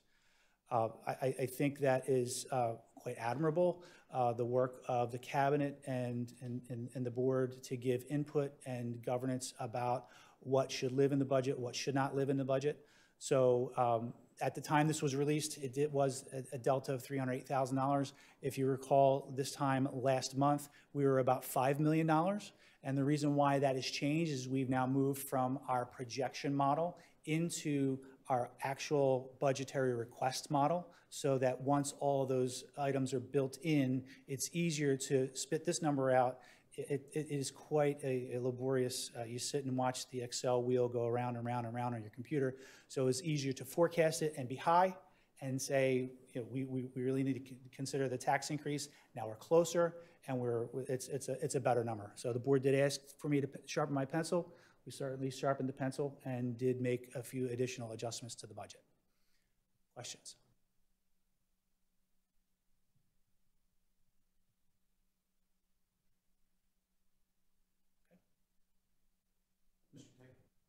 Uh, Mr. Harris, thank you. That's um, extremely helpful. The figure on there that's about 309,000, you say it's actually now down to about 50-some thousand. Correct. Does that need to be zero when we make our final vote? When you make your final vote, it does not need to be zero, but anything that is in the red would contemplate a a withdrawal from fund balance. Thank you. Mr. Roosevelt?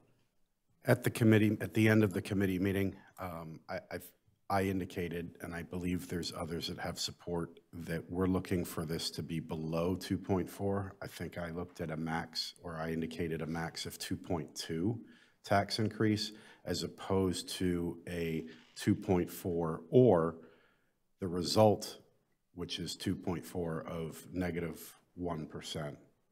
So I'm encouraged by this, this number because you're, you're getting there. You're really close. So I'm excited that we can, we can get down closer to two, but 2.2, uh, that area. I just want, I understand tonight is ceremonial and, uh, and I appreciate the work that you've done at getting closer to that. Thank you. Absolutely. And just for the board's edification, for every 0.1% of an Act One Uh, So if you went from 2.4 to a 2.0, you would have to add approximately $600,000 to that deficit. So we're in the $650,000 range for the deficit, which is a huge improvement over the 4 or $5 million we were a couple of weeks ago. And if the state comes back with more money, uh, this is kind of a home run. Giving the board everything it's asked for, um, supporting the, the, every, every initiative that has been brought to bear, um, and then ha- has, has some room with the $1.2 million uh, budgetary reserve.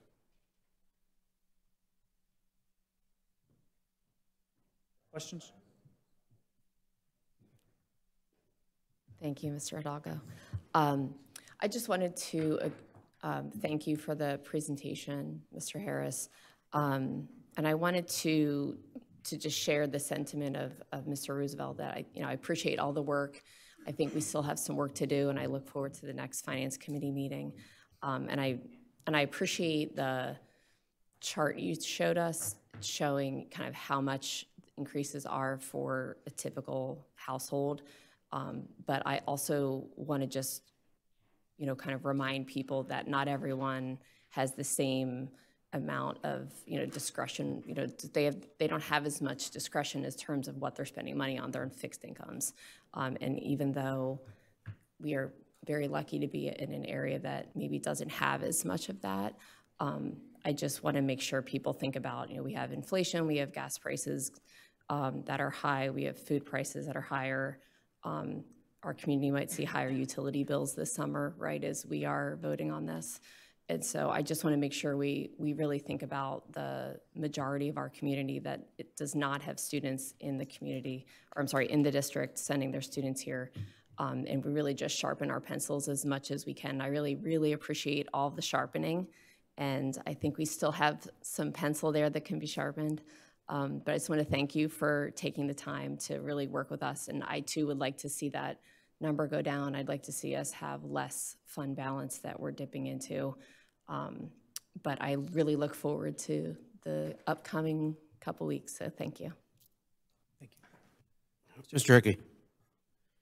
Uh, Yeah, uh, like you said, that number keeps going lower and lower, which makes me happy because as we've spoken before, um, I mean, I, I think I gave you a figure of two was my max as, as a ceiling, not 2.4 or 2.2. And even two is based off of if the state comes in with higher revenue, I want to see that number go down towards one or below, whatever the case may be. Uh, I think you might have said this before, and I did want some clarification on it, because you did say that you included the 7.8 full-time employees to the STEAM program. Was that figure that you calculated in at the higher rate, or are you going in at the lower rate, which would bring that number down even lower? No, I, let me jump back to, to the slide.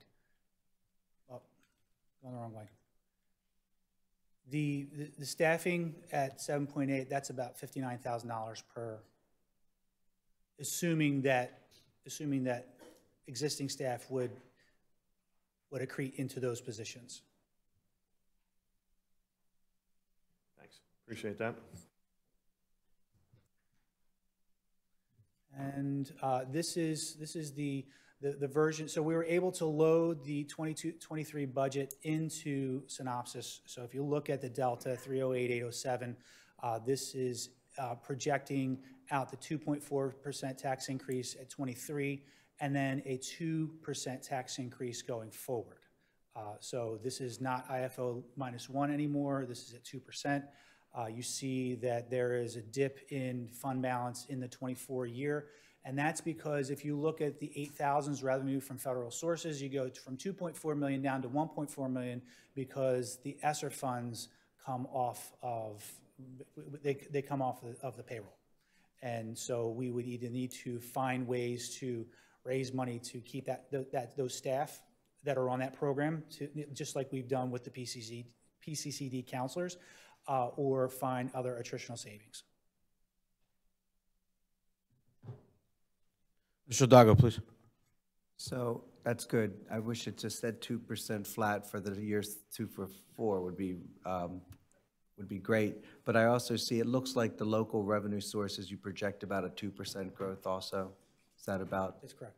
Um, That's looking much better than, than what we've seen in the past. So to the board, we have a 2.4 proposed budget, like to get to 2, 2.2. But the other end is, are we okay with dipping in the fund balance, or we're looking not to? So it's going to be one of those, uh, you know, balancing acts between those two, those items. You can have a 2% tax increase, but maybe we dip into the fund balance a little bit more. I'm more, this, this slide here is what intrigues me more about, can we get away with a 2% projection for the next four years and keep the balance above $28 uh, million in fund balance or around that? I'd like to clarify, the 24, 25, 26, 27 do contemplate a 2% increase. Right, that's what I'm saying. I, I like that better than the Act One minus one. Uh, So, yeah, I'm- I appreciate the work you, I was going to say that, that there was no questions during your presentation. That means you're doing a really good job, you know, up until the end. So we're going to, go ahead, Mr. Tate. Yeah, I, I wanted to clarify, we are planning to spend fund balance uh, in this In the budget. 22 year? Yeah. I, uh, I- I'm not a prognosticator, but I just saw the EITs coming in, and they are really strong this year. So we may, we may eclipse that, because we have not spent all of our budgetary reserve. Yeah, actually, I was referring to 23. Oh, forgive me, yes. If the board enacted a 2.4, there would be a spend of, in fund balance of $380,000. No, 60,000, 59,000. Exactly. You're correct. Yeah, I, but I, I'm not. No, no. But let's be, you know, Yes. real with everybody, yeah, so. Yes. And so a two, per- Mr. Tate, uh, on 2024, 2% tax increase, we'd be dipping 2 million into it with the projections as we are now. Uh, We still have, but I- yeah, at the end here, I'm going to ask us to go through the, what do we get? And make sure that he has the good feedback. I want to make sure you have a clear, open discussion, try to land somewhere, because we have the 12th of May, then we have a board meeting, and then in June, and then we'll be the 16th. And I think we'll, we'll be able to get there, I'm, I'm confident. Mrs. Pell, you have a question? So by dipping into our fund balance, um, it's going to affect our borrowing cost, right? And I know we plan to renovate our schools. And my concern is um, by not increasing to, by whatever, to 2.4 and go down to 2 or 2.2, we are affecting, maybe it's going to cost us more because we're going to have to pay more to borrow money to make the renovations and whatever else is needed. And also, um, I was looking at the uh, slide that you showed earlier. So the 2.4% increase, you said it's an extra $123 for the average, like, um, The property owner, yeah. So I'm not sure if this is, I mean, th- that to me looks reasonable, given, you know, um, that we can balance our budget and we're not dipping into the, into the fund balance. And um, the people who um, don't have children in the school district, and I spoke with a lot of them not too long ago, they want a very strong district. They want the best education because that's how it's pride for them, but also that's what keeps their property values high. So it's not that they pay the extra money without any benefit. Of course, if you have children in the district, we get the highest benefit, and we all want that. And you know, nobody wants to pay taxes, including me, but I don't think it's a huge amount to pay the $123 on the average per year in order to benefit for like a balanced budget and not getting into the fund balance and affecting the borrowing costs. I mean, I don't know, do you agree? Do you want to elaborate on that? Well, so i- the, the borrowing, uh, the, the credit rating of the district is strong. It's a double A. It's, it's probably the best uh, in, in the region. Uh, There is a AAA credit rating, and you would have to perhaps double or triple your fund balance to have that kind of, a- of a credit rating. So a a $300,000 hit in my mind, I'm not, I'm not Standard and Poor, I, I'm not a credit rater, but I would, I would imagine that, that that's, that rather insignificant amount compared to the gestalt of the, of the budget would not be a factor. You're saying, but by, by using the fund balance, because it's not going to stay as it is, right? Plus, next year or the, the year after that, do you think with the inflation being so high, we'll only have a 2% increase? I Well- mean, is it economically sound to believe that? Well, ma'am, I, I, I- I'm, I'm tasked by the board to get a budget across the table that can be acted upon by June 30th. And my, if, if I had my druthers, I'd be asking you to go 3.4% simply because I don't know the, the scenarios of cost. And, but I, but I know that this board has given strict direction that we need to be south of 2.4. So uh, I, I- work for the board, and I want to make sure I support this community, but it, it- it's incumbent upon me to tell you that the, the questions you're asking are thoughtful, and they're, they're helping to guide the conversation. Um, But the, the reality of the other revenues that are increasing uh, does alleviate the district's need to be forced into, like other communities, forced into a max tax increase every year. So that's, that's one of the beauties of the, of, of the developments that are coming. And if I could just give a plug for next week's meeting, uh, there, there are going to be some really interesting developments considering the, the average assessed value and, uh, and, and an update on the state gaming money, which would further lower the impact on the average homeowner who is eligible for a homestead rebate. So uh, I, I can't go into much of that today because I don't have the slides prepared, uh, but you'll have them in your inbox uh, tomorrow afternoon uh, for discussion and review on Thursday. Does that answer your question? Just for some additional clarification, Mr. Harris.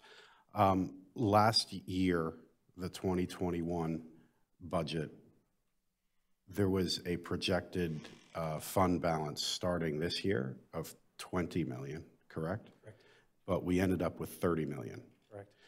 And our double A credit rating was assigned to us at that point at a 20 million, correct? It was, yes, we did maintain the double A credit rating. So a $308,000 or a 250, whatever, um, number, while significant with respect to a 10, th- $10 million is, uh, is probably ad- adjustable or accommodating by the double A credit rating to maintain that.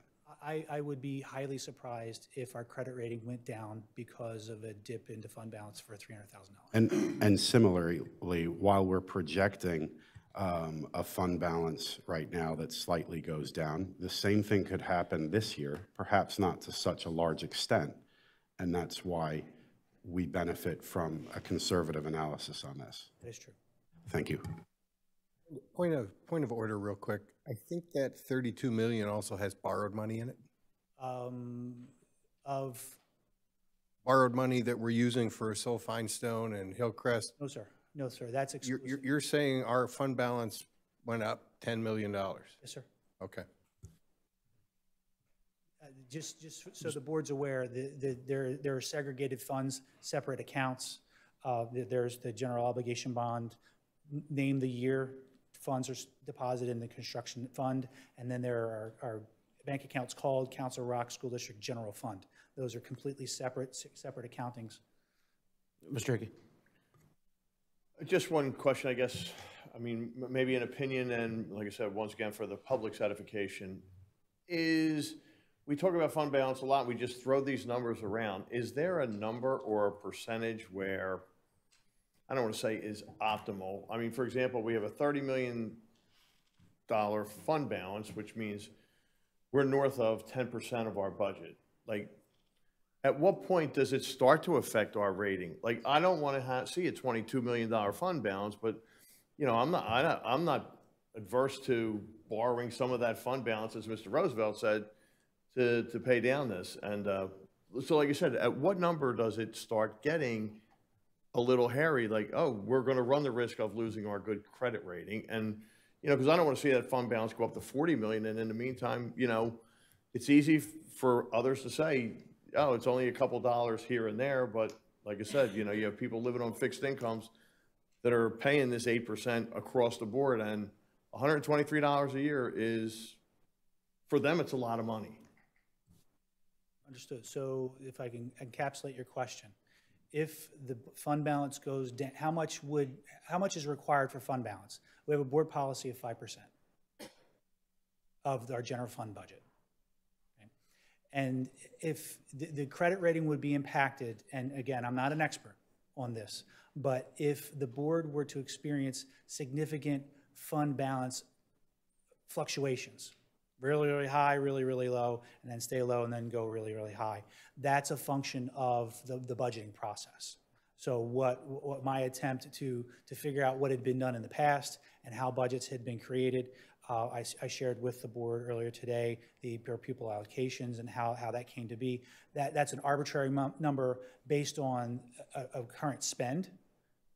I, I want to make sure that the board has, has a clear understanding that we, we, are, we have to have enough, we have enough, have to have enough fat in the budget to take care of the what-ifs, but we don't want to be so, so generous in that, in raising that fund, those funds, that we continue to have surplus budgets.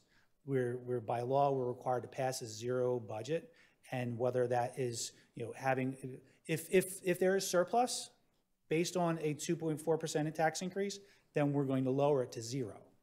So every dollar that we get in, in revenue would then, then lower the, the tax levy, or the, the, the consideration of a tax levy. But for, for your purpose, my, you want to have fund balance as high as possible for the credit rating, and not only for that, but for the, for the what-ifs. But as, as, as this board has, has spoken, there, there are things that you cannot forecast for, and a $10 million variation to the good was nothing that anyone ever forecast. It's a good place to be. Mr. Hidalgo.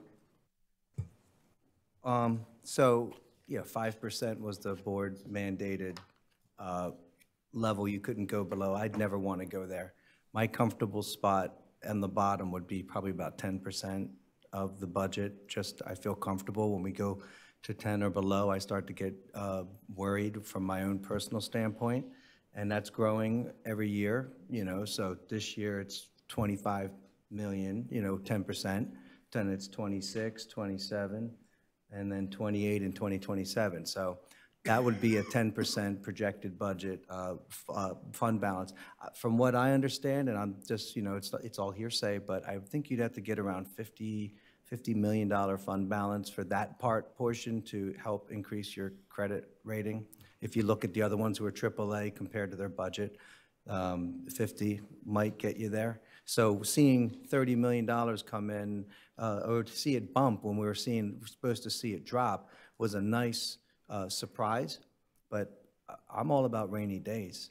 And, you know, I'm, I'm not sure, again, that we should, uh, uh, we should, you know, take this for granted, what's going on right now.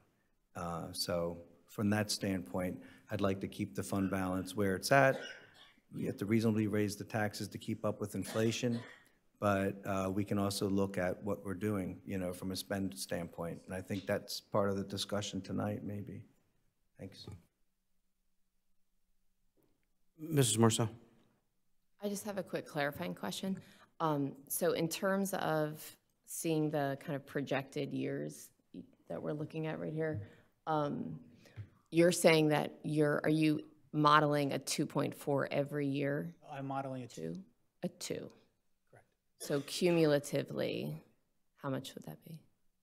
Uh, If, I don't have the um, slide there, but everything increases, it's, it's $4 million a year, and then builds exponentially on top of that. So percentage-wise? It's, well, it's an average of 2%. So cumulatively? Cumulative, well. Two plus two plus so- two, like, I'm so trying to get I at, be there's like a, To the board, you're not raising taxes eight, eight, eight, 10% across the years. Like adding, adding two plus two plus two plus two does not give you the mathematically accurate percentage, right? It's, it has to be averaged. So we're looking at maybe an average of 2.05% over the five years? so could we have a slide on that? Sure. Okay, thank you. I'm, I'm sorry, that would otherwise be known as a growth rate. That's, so, I just think it would be helpful for the community to understand that. So, thank you very much. Mr. Harris, are you, are you done, sir? Uh, I have two more slides. Uh, Keynotes, uh, we've, we've talked about all these. Uh, The one, one piece of information that will come from facilities, there are security upgrades that we're looking to purchase uh, in the near future. They, we will look to purchase for them from capital reserve. Projections do include the ESSER revenue su- sunset. The questions, and I, I think the board has spoken loud and clear, the board is not okay with the 2.4 real estate tax increase, and we'll look to get that as close to two or under as possible. Uh, Will Governor Wolf's budget be enacted before June 16th? Who knows? Uh, What impact will the uh, June 1st enrollment deadline have on our elementary section need?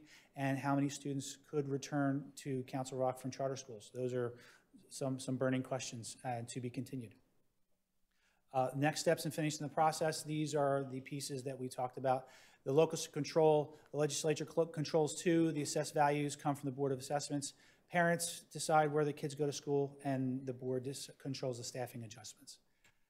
Next steps in the timeline, May 5th, we were here. I was going to cross that out ceremonially, but I, I didn't know if I would live to see another day. So here we are at May 5th. I'll cross that out for next time.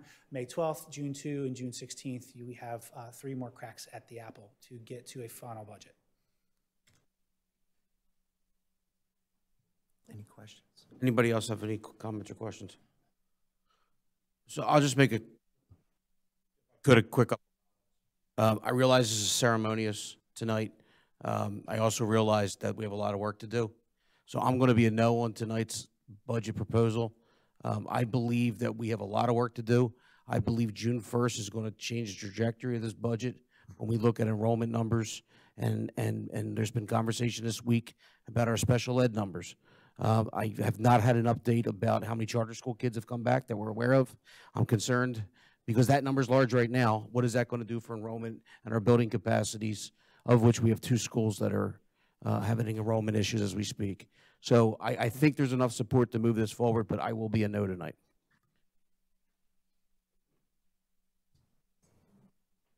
Anybody else? Yeah, I would like to uh, uh, solicit any more information, any more details from the board, any wants, what are they looking for? Because this is coming down to the wire for, for the edification or for the sake of, of Mr. Harris, who's grinding away at this very diligently. If you have any feedback. You're bouncing that back to me, Joe, I'd, I'd like to talk. Not you. Okay. I'm I'll- giving this to I'll the take whole it. board. Go I- ahead. I- I'd like to discuss the sub rates that the board said that they would rediscuss. Uh, I'm not so sure we need to leave it at that number. Uh, the board was also presented with a- an additional option of s- 4.8, 4.6 FTEs for STEAM. That's not been presented. What would that do to the budget? What's the difference? Um, so there's some things out there. I think this board's looking at probably the best worst case scenario. So I think there's other options uh, that we have been presented, but it's not on these slides. So that's why I, uh, I'm going to be a no tonight. Um, I, I, I- I struggle with saying the number's wrong, but I, I'm, I'm struggling with how we got to a thirty-two million dollar fund balance. So I'm gonna ask, and if, if it has to be with me, that's fine, where that came from. I, I, I'm wrestling with it. I, I, I just, it's inconceivable to me that it went up that much. Um, so that's one question, and I recognize this is a formality too. Um, I've heard lots of numbers for two. I always, in these budget exercises, strive for zero. And that forces rankings and priorities, and then you can move off of it. Um, I won't land on zero, can't. We can't do it. But, uh, you know, so um, this may be a formality, but it sets a tone, and I'm, I'm a- a little concerned. Um, But right now, uh, and, and it, it could be just me, but that, that number is enormous. So I, I, I, I'm struggling with it, so, um, and I'll look myself too, I'll start taking this apart, but there, there, you know, that, that one I, I, I wrestle with. So in, in, in light of what Mr. Salamone said, he took my other points, so. Anybody else? May I respond to Dr. Thor's question? Please, sure. So you have a, an audited financial statement that, that had uh, a s- standing fund balance of about $22 million. And then you had a, a positive variance, uh, revenue to spend in, in the, in the 21, or the 2021 audit. that positive was about $9.9 million. That's lived on slides that have been presented to the board. That's how you got there. So the, the $10 million variance was the board collected more than was planned and spent less than was planned. So, I mean, and that's really the anomaly of the COVID year. Uh, I, I, I- I wish I could bring that to you every year and you'd never have to raise taxes. Uh, However, my, my concerns are, you know, that we, not, no repeat performances. I want to be wrong. Don't, please, please, don't, you know, but it's, Well, wouldn't it, wouldn't it, excuse me, wouldn't it have been like the final budget that came in after the fiscal year last year showed where the money came from? Absolutely. A lot of it was transportation. Something was a- an accounting error of about one or two million dollars, if I remember correctly. And then, but it was, it was discussed in public, but, uh, so, but I'm happy to review it too, because you know what? We got so much information, data overload. I like to go over things more than once because you tend to forget things. Uh, And again, I'm looking, so I see something, I would like to know the numbers on the charter schools, and if we can get those uh, numbers down, because I think that was over a million dollars, getting close to two, if we can get those I students, believe it's 2.7. so we can, if we can get those students back, that's going to be a big, I'm all looking about being uh, really nice here, so, but that won't come again until we know June. Yeah, and it's, it's June first due enrollment, so we have two meetings after that. Look, And we're still reaching out. it's in the ballpark. It's just Ed. not there tonight. Right, and so we're reaching out to those families. Is there a program that the administration is doing at all to reach out to those uh, students? I know there was, but just, So, excuse me, we are reaching out to, I'm sorry, reaching out to the families. Um, we're actually going to be sending a personal letter to each of our families that have withdrawn for a charter school. And also including with that will be uh, a really short survey to ask them, why did you leave? And if you're saying you're not going to come back, why? And tell us and, and then, you know, help us to improve uh, so we can hopefully get more of those families back. that's a great idea. And that number jumped a bunch. Absolutely. It's, it's, it jumps off the page at you. Yep. Yep. That's, to me, that's type of low-level fruit that we could try to get back. And it changes the trajectory of our, it's, it's, it's a big deal. I think they wanted a virtual program. Well, I wish them well. Anybody else? Mrs. Marcell? Um, I just wanted to add that uh, because this is a proposed budget, I will be voting yes on it. I do not want a 2.4, and I don't want to use fund balance, but I also appreciate the work that Mr. Harris is doing and the team. And if we have to meet every week, I'm committed to it. We're going to get this budget done, and um, hopefully we aren't. But I just wanted to just thank everyone and say that I will be voting yes uh, tonight. Thank you. I'm going to do a roll call, so if anybody else's comments, please jump in there. First, Mrs. Pally. So I know there's no way we're going to prove this tonight. I thought it was more of an exercise to see where we stand and understand um, where um, the winds blow and what are there things we want to look into it. So, and we have finance committee meetings, so we can do extra meetings because I think we, we all have to understand better. So not approving it tonight, it's not, it's actually, it for me, it's expected. So it's just the opportunity to dig into deeper so we're all comfortable with where we are. So I, I'd like to clarify that Yeah. this was an advertised meeting for, for the purpose of approving the proposed final budget, which is a statutory requirement. So I, I'm asking uh, politely that if we can get an affirmative vote, we can keep the ship moving uh, toward finance and then toward the June 16th uh, deadline uh, that the board has set for itself. So um, I, I, want to be clear on that, that the board needs to take action tonight, and if the board takes action in, in, in dissent, then it upsets the timelines uh, that we've, that the board has already set. The board has to publicly approve with at least five votes a proposed budget before 30 days in advance of voting on and approving its final budget. So uh, folks have described this as ceremonial. It- It is to a certain extent in the sense that it's not binding on the board and does not become the actual 22, 23 budget. but you can't get to the final budget, which you do have to approve on or before June 30th, until you've approved this um, proposed budget at least 30 days in advance of that. So just to be clear. And I shouldn't say it has to be this one, but if this is not the one that's approved, then you have to go back to the drawing board and you have to approve some proposed budget at least 30 days in advance of when you vote on the final. So just to clarify, that would be June 6th is the earliest, or what, what's today? I'm sorry, sorry, it's the 5th, right? Cinco de Mayo. So June 5th would be the early, 5th or 6th would be the earliest we could vote statutory. So if we vote no tonight, all it does is, we, we literally could uh, push it out for another three or four, uh, another two weeks and still get it before June 30th. Not that we're going, I'm just doing the exercise in my mind if there's five dissent votes. We- We would have to scramble. No, well, well, that's what I said. So I would just comment on me personally that uh, when we went into last fall uh, and we were doing some negotiations, I was looking at 1.8. Uh, That was where I was looking, landing, and we're at 2.4. It's not where I want to be, but inflation has shown its ugly head like I've not seen in my uh, young lifetime. But um, The statute literally reads something to the effect of, you know, the board shall pass a proposed budget, which it shall then review and revise as it determines appropriate, you know. So the, the whole, the, the whole point of a proposed budget is to, is to make that 30-day window.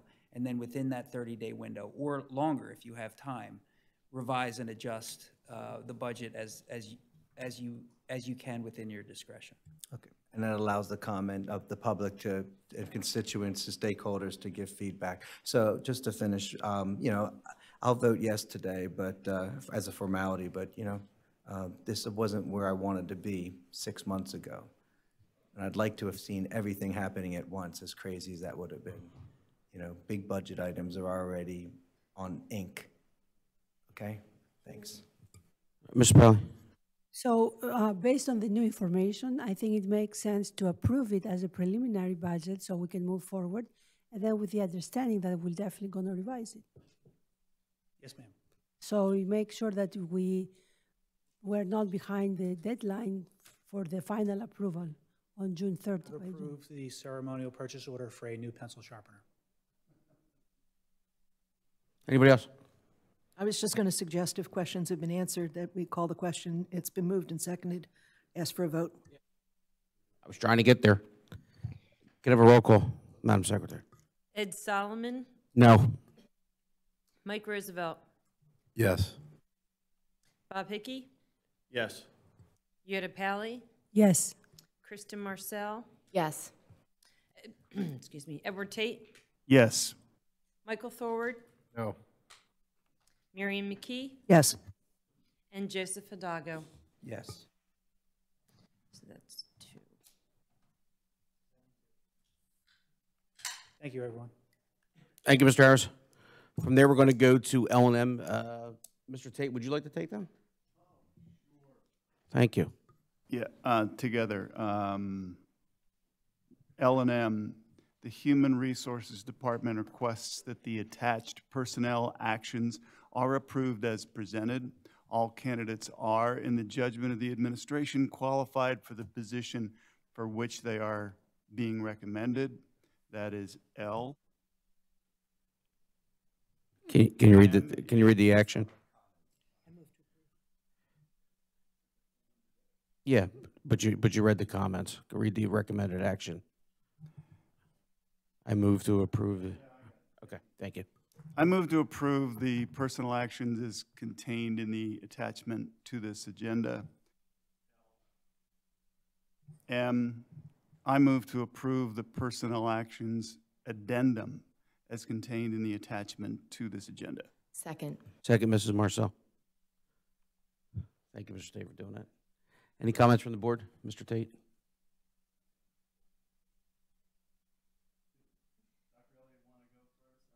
Dr. Holly can go first. I, Certainly, thank you, Mr. Tate. So in our personnel actions tonight, um, Mr. Doug Taylor has announced his intent to retire from public education. Doug has developed and managed the district's capital plan, which is often referred to as Doug's book, with a focus on safety and green technology, earning LEED Gold certifications. Mr. Taylor is responsible for over 100 summer capital improvement projects with a focus on preventative maintenance, safety, and functionality. He has renovated and expanded seven of the 10 elementary schools and both middle schools. With a focus on safety and security, Doug has supported the implementation of the ALICE training and improved school security through construction and improvement projects. During his tenure at Council Rock, Doug has touched over 1.1 million square feet of Council Rock facilities, completing all projects on time and under budget. But what is most important to know about Doug is that he always puts students' safety and learning first in every project. He has been dedicated to creating safe and welcoming instructional spaces for our students and staff. So thank you, Doug, and I wish you the best as you begin this next chapter in your life.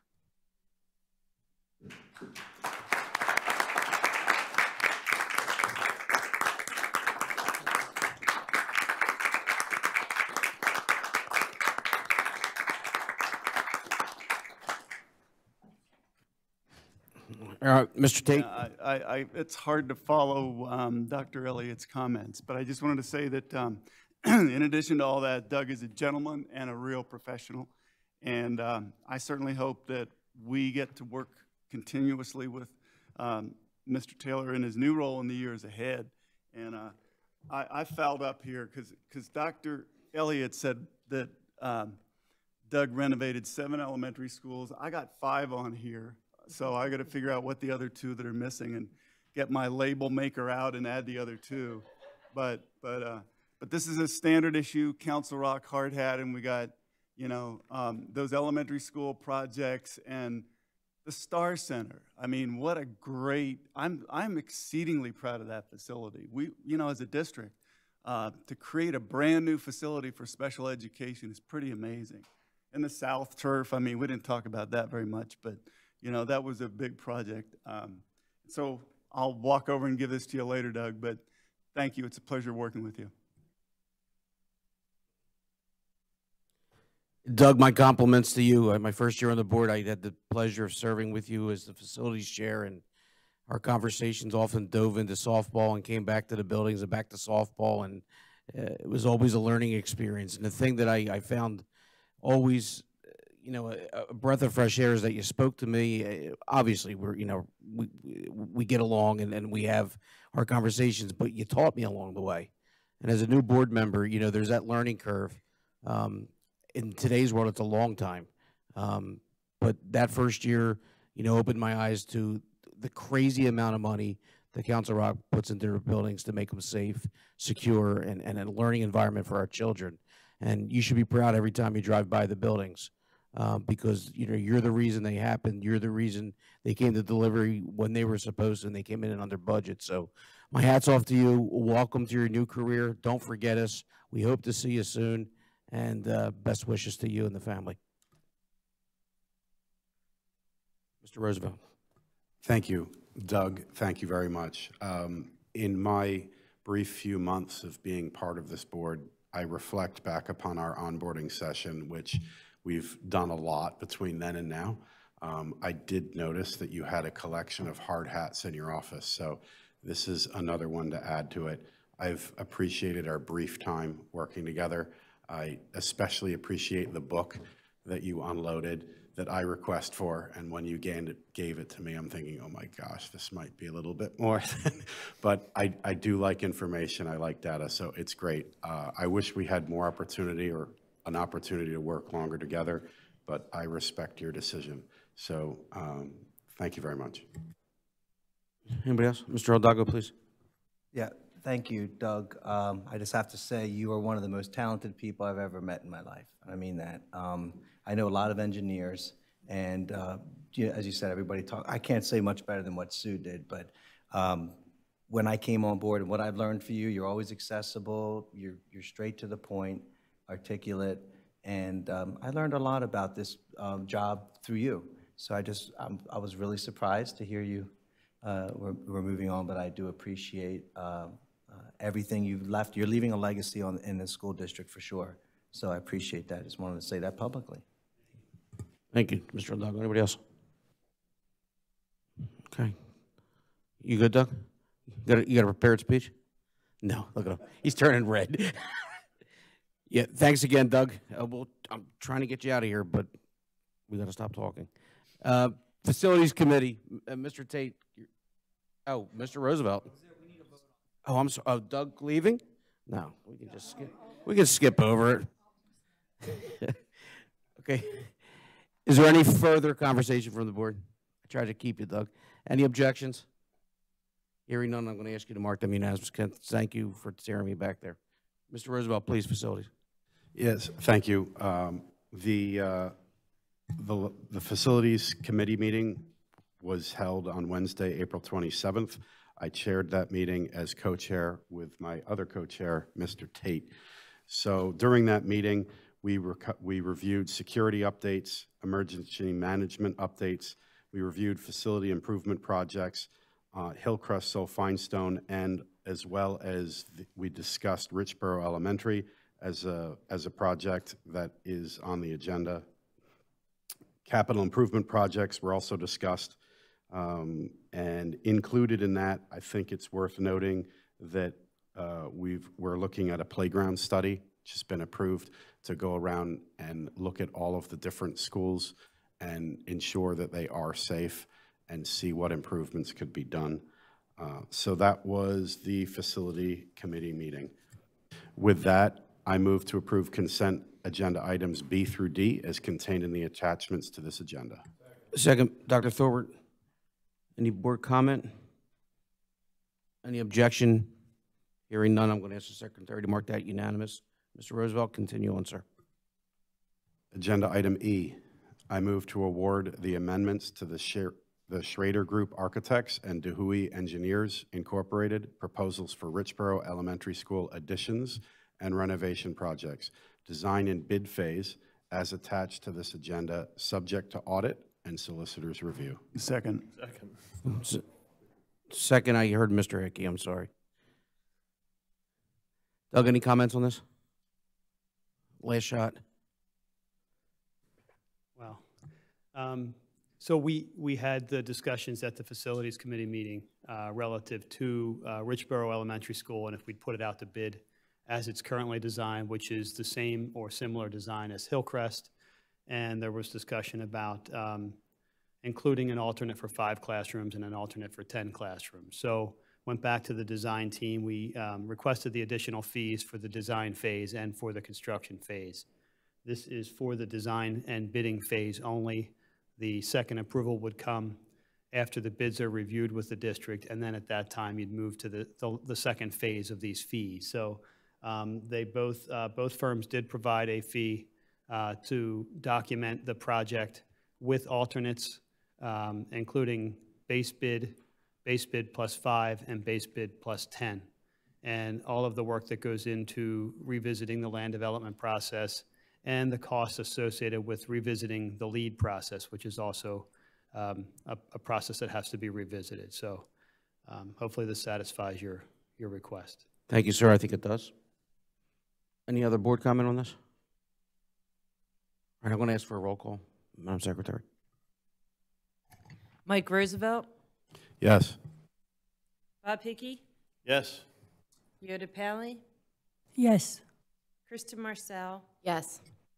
Ed Tate, Yes. Michael Thorwart, Yes. Marion McKee, Yes. Joseph Hidalgo, Yes. and Ed Salamone. Yes. Passes nine zero. Thanks again, Doug. From there, we move to the second set of public comment. I have no other one signed up. Anybody in the audience wish to make a comment? Going once, going twice. Right, hearing none, we're going to continue down the agenda. Board comment, any new business from the board? Mrs. Pally. Not sure if it's new or old business, but I just want to talk a little bit about the SEL. Uh, we know it was not on the agenda tonight because there were some um, discussion, I think, after the last committee meeting from different board members asking more questions. So uh, my understanding is that this is extremely important and we have to take care not only of the academics, but also the mental health and the support the, our children. So again, my understanding is that uh, the board will come back with a different proposal on, for this program. So it's not, it's not dead, it's, it's gonna happen. And uh, I think it's one of these items that the new superintendent will have to bless. So um, I just want to say that to our community because I don't want people to be disappointed that this is not going to happen. Thank you, ma'am. Anybody else, new business? Any old business from the board? All right, hearing none, I'm adjourning the meeting.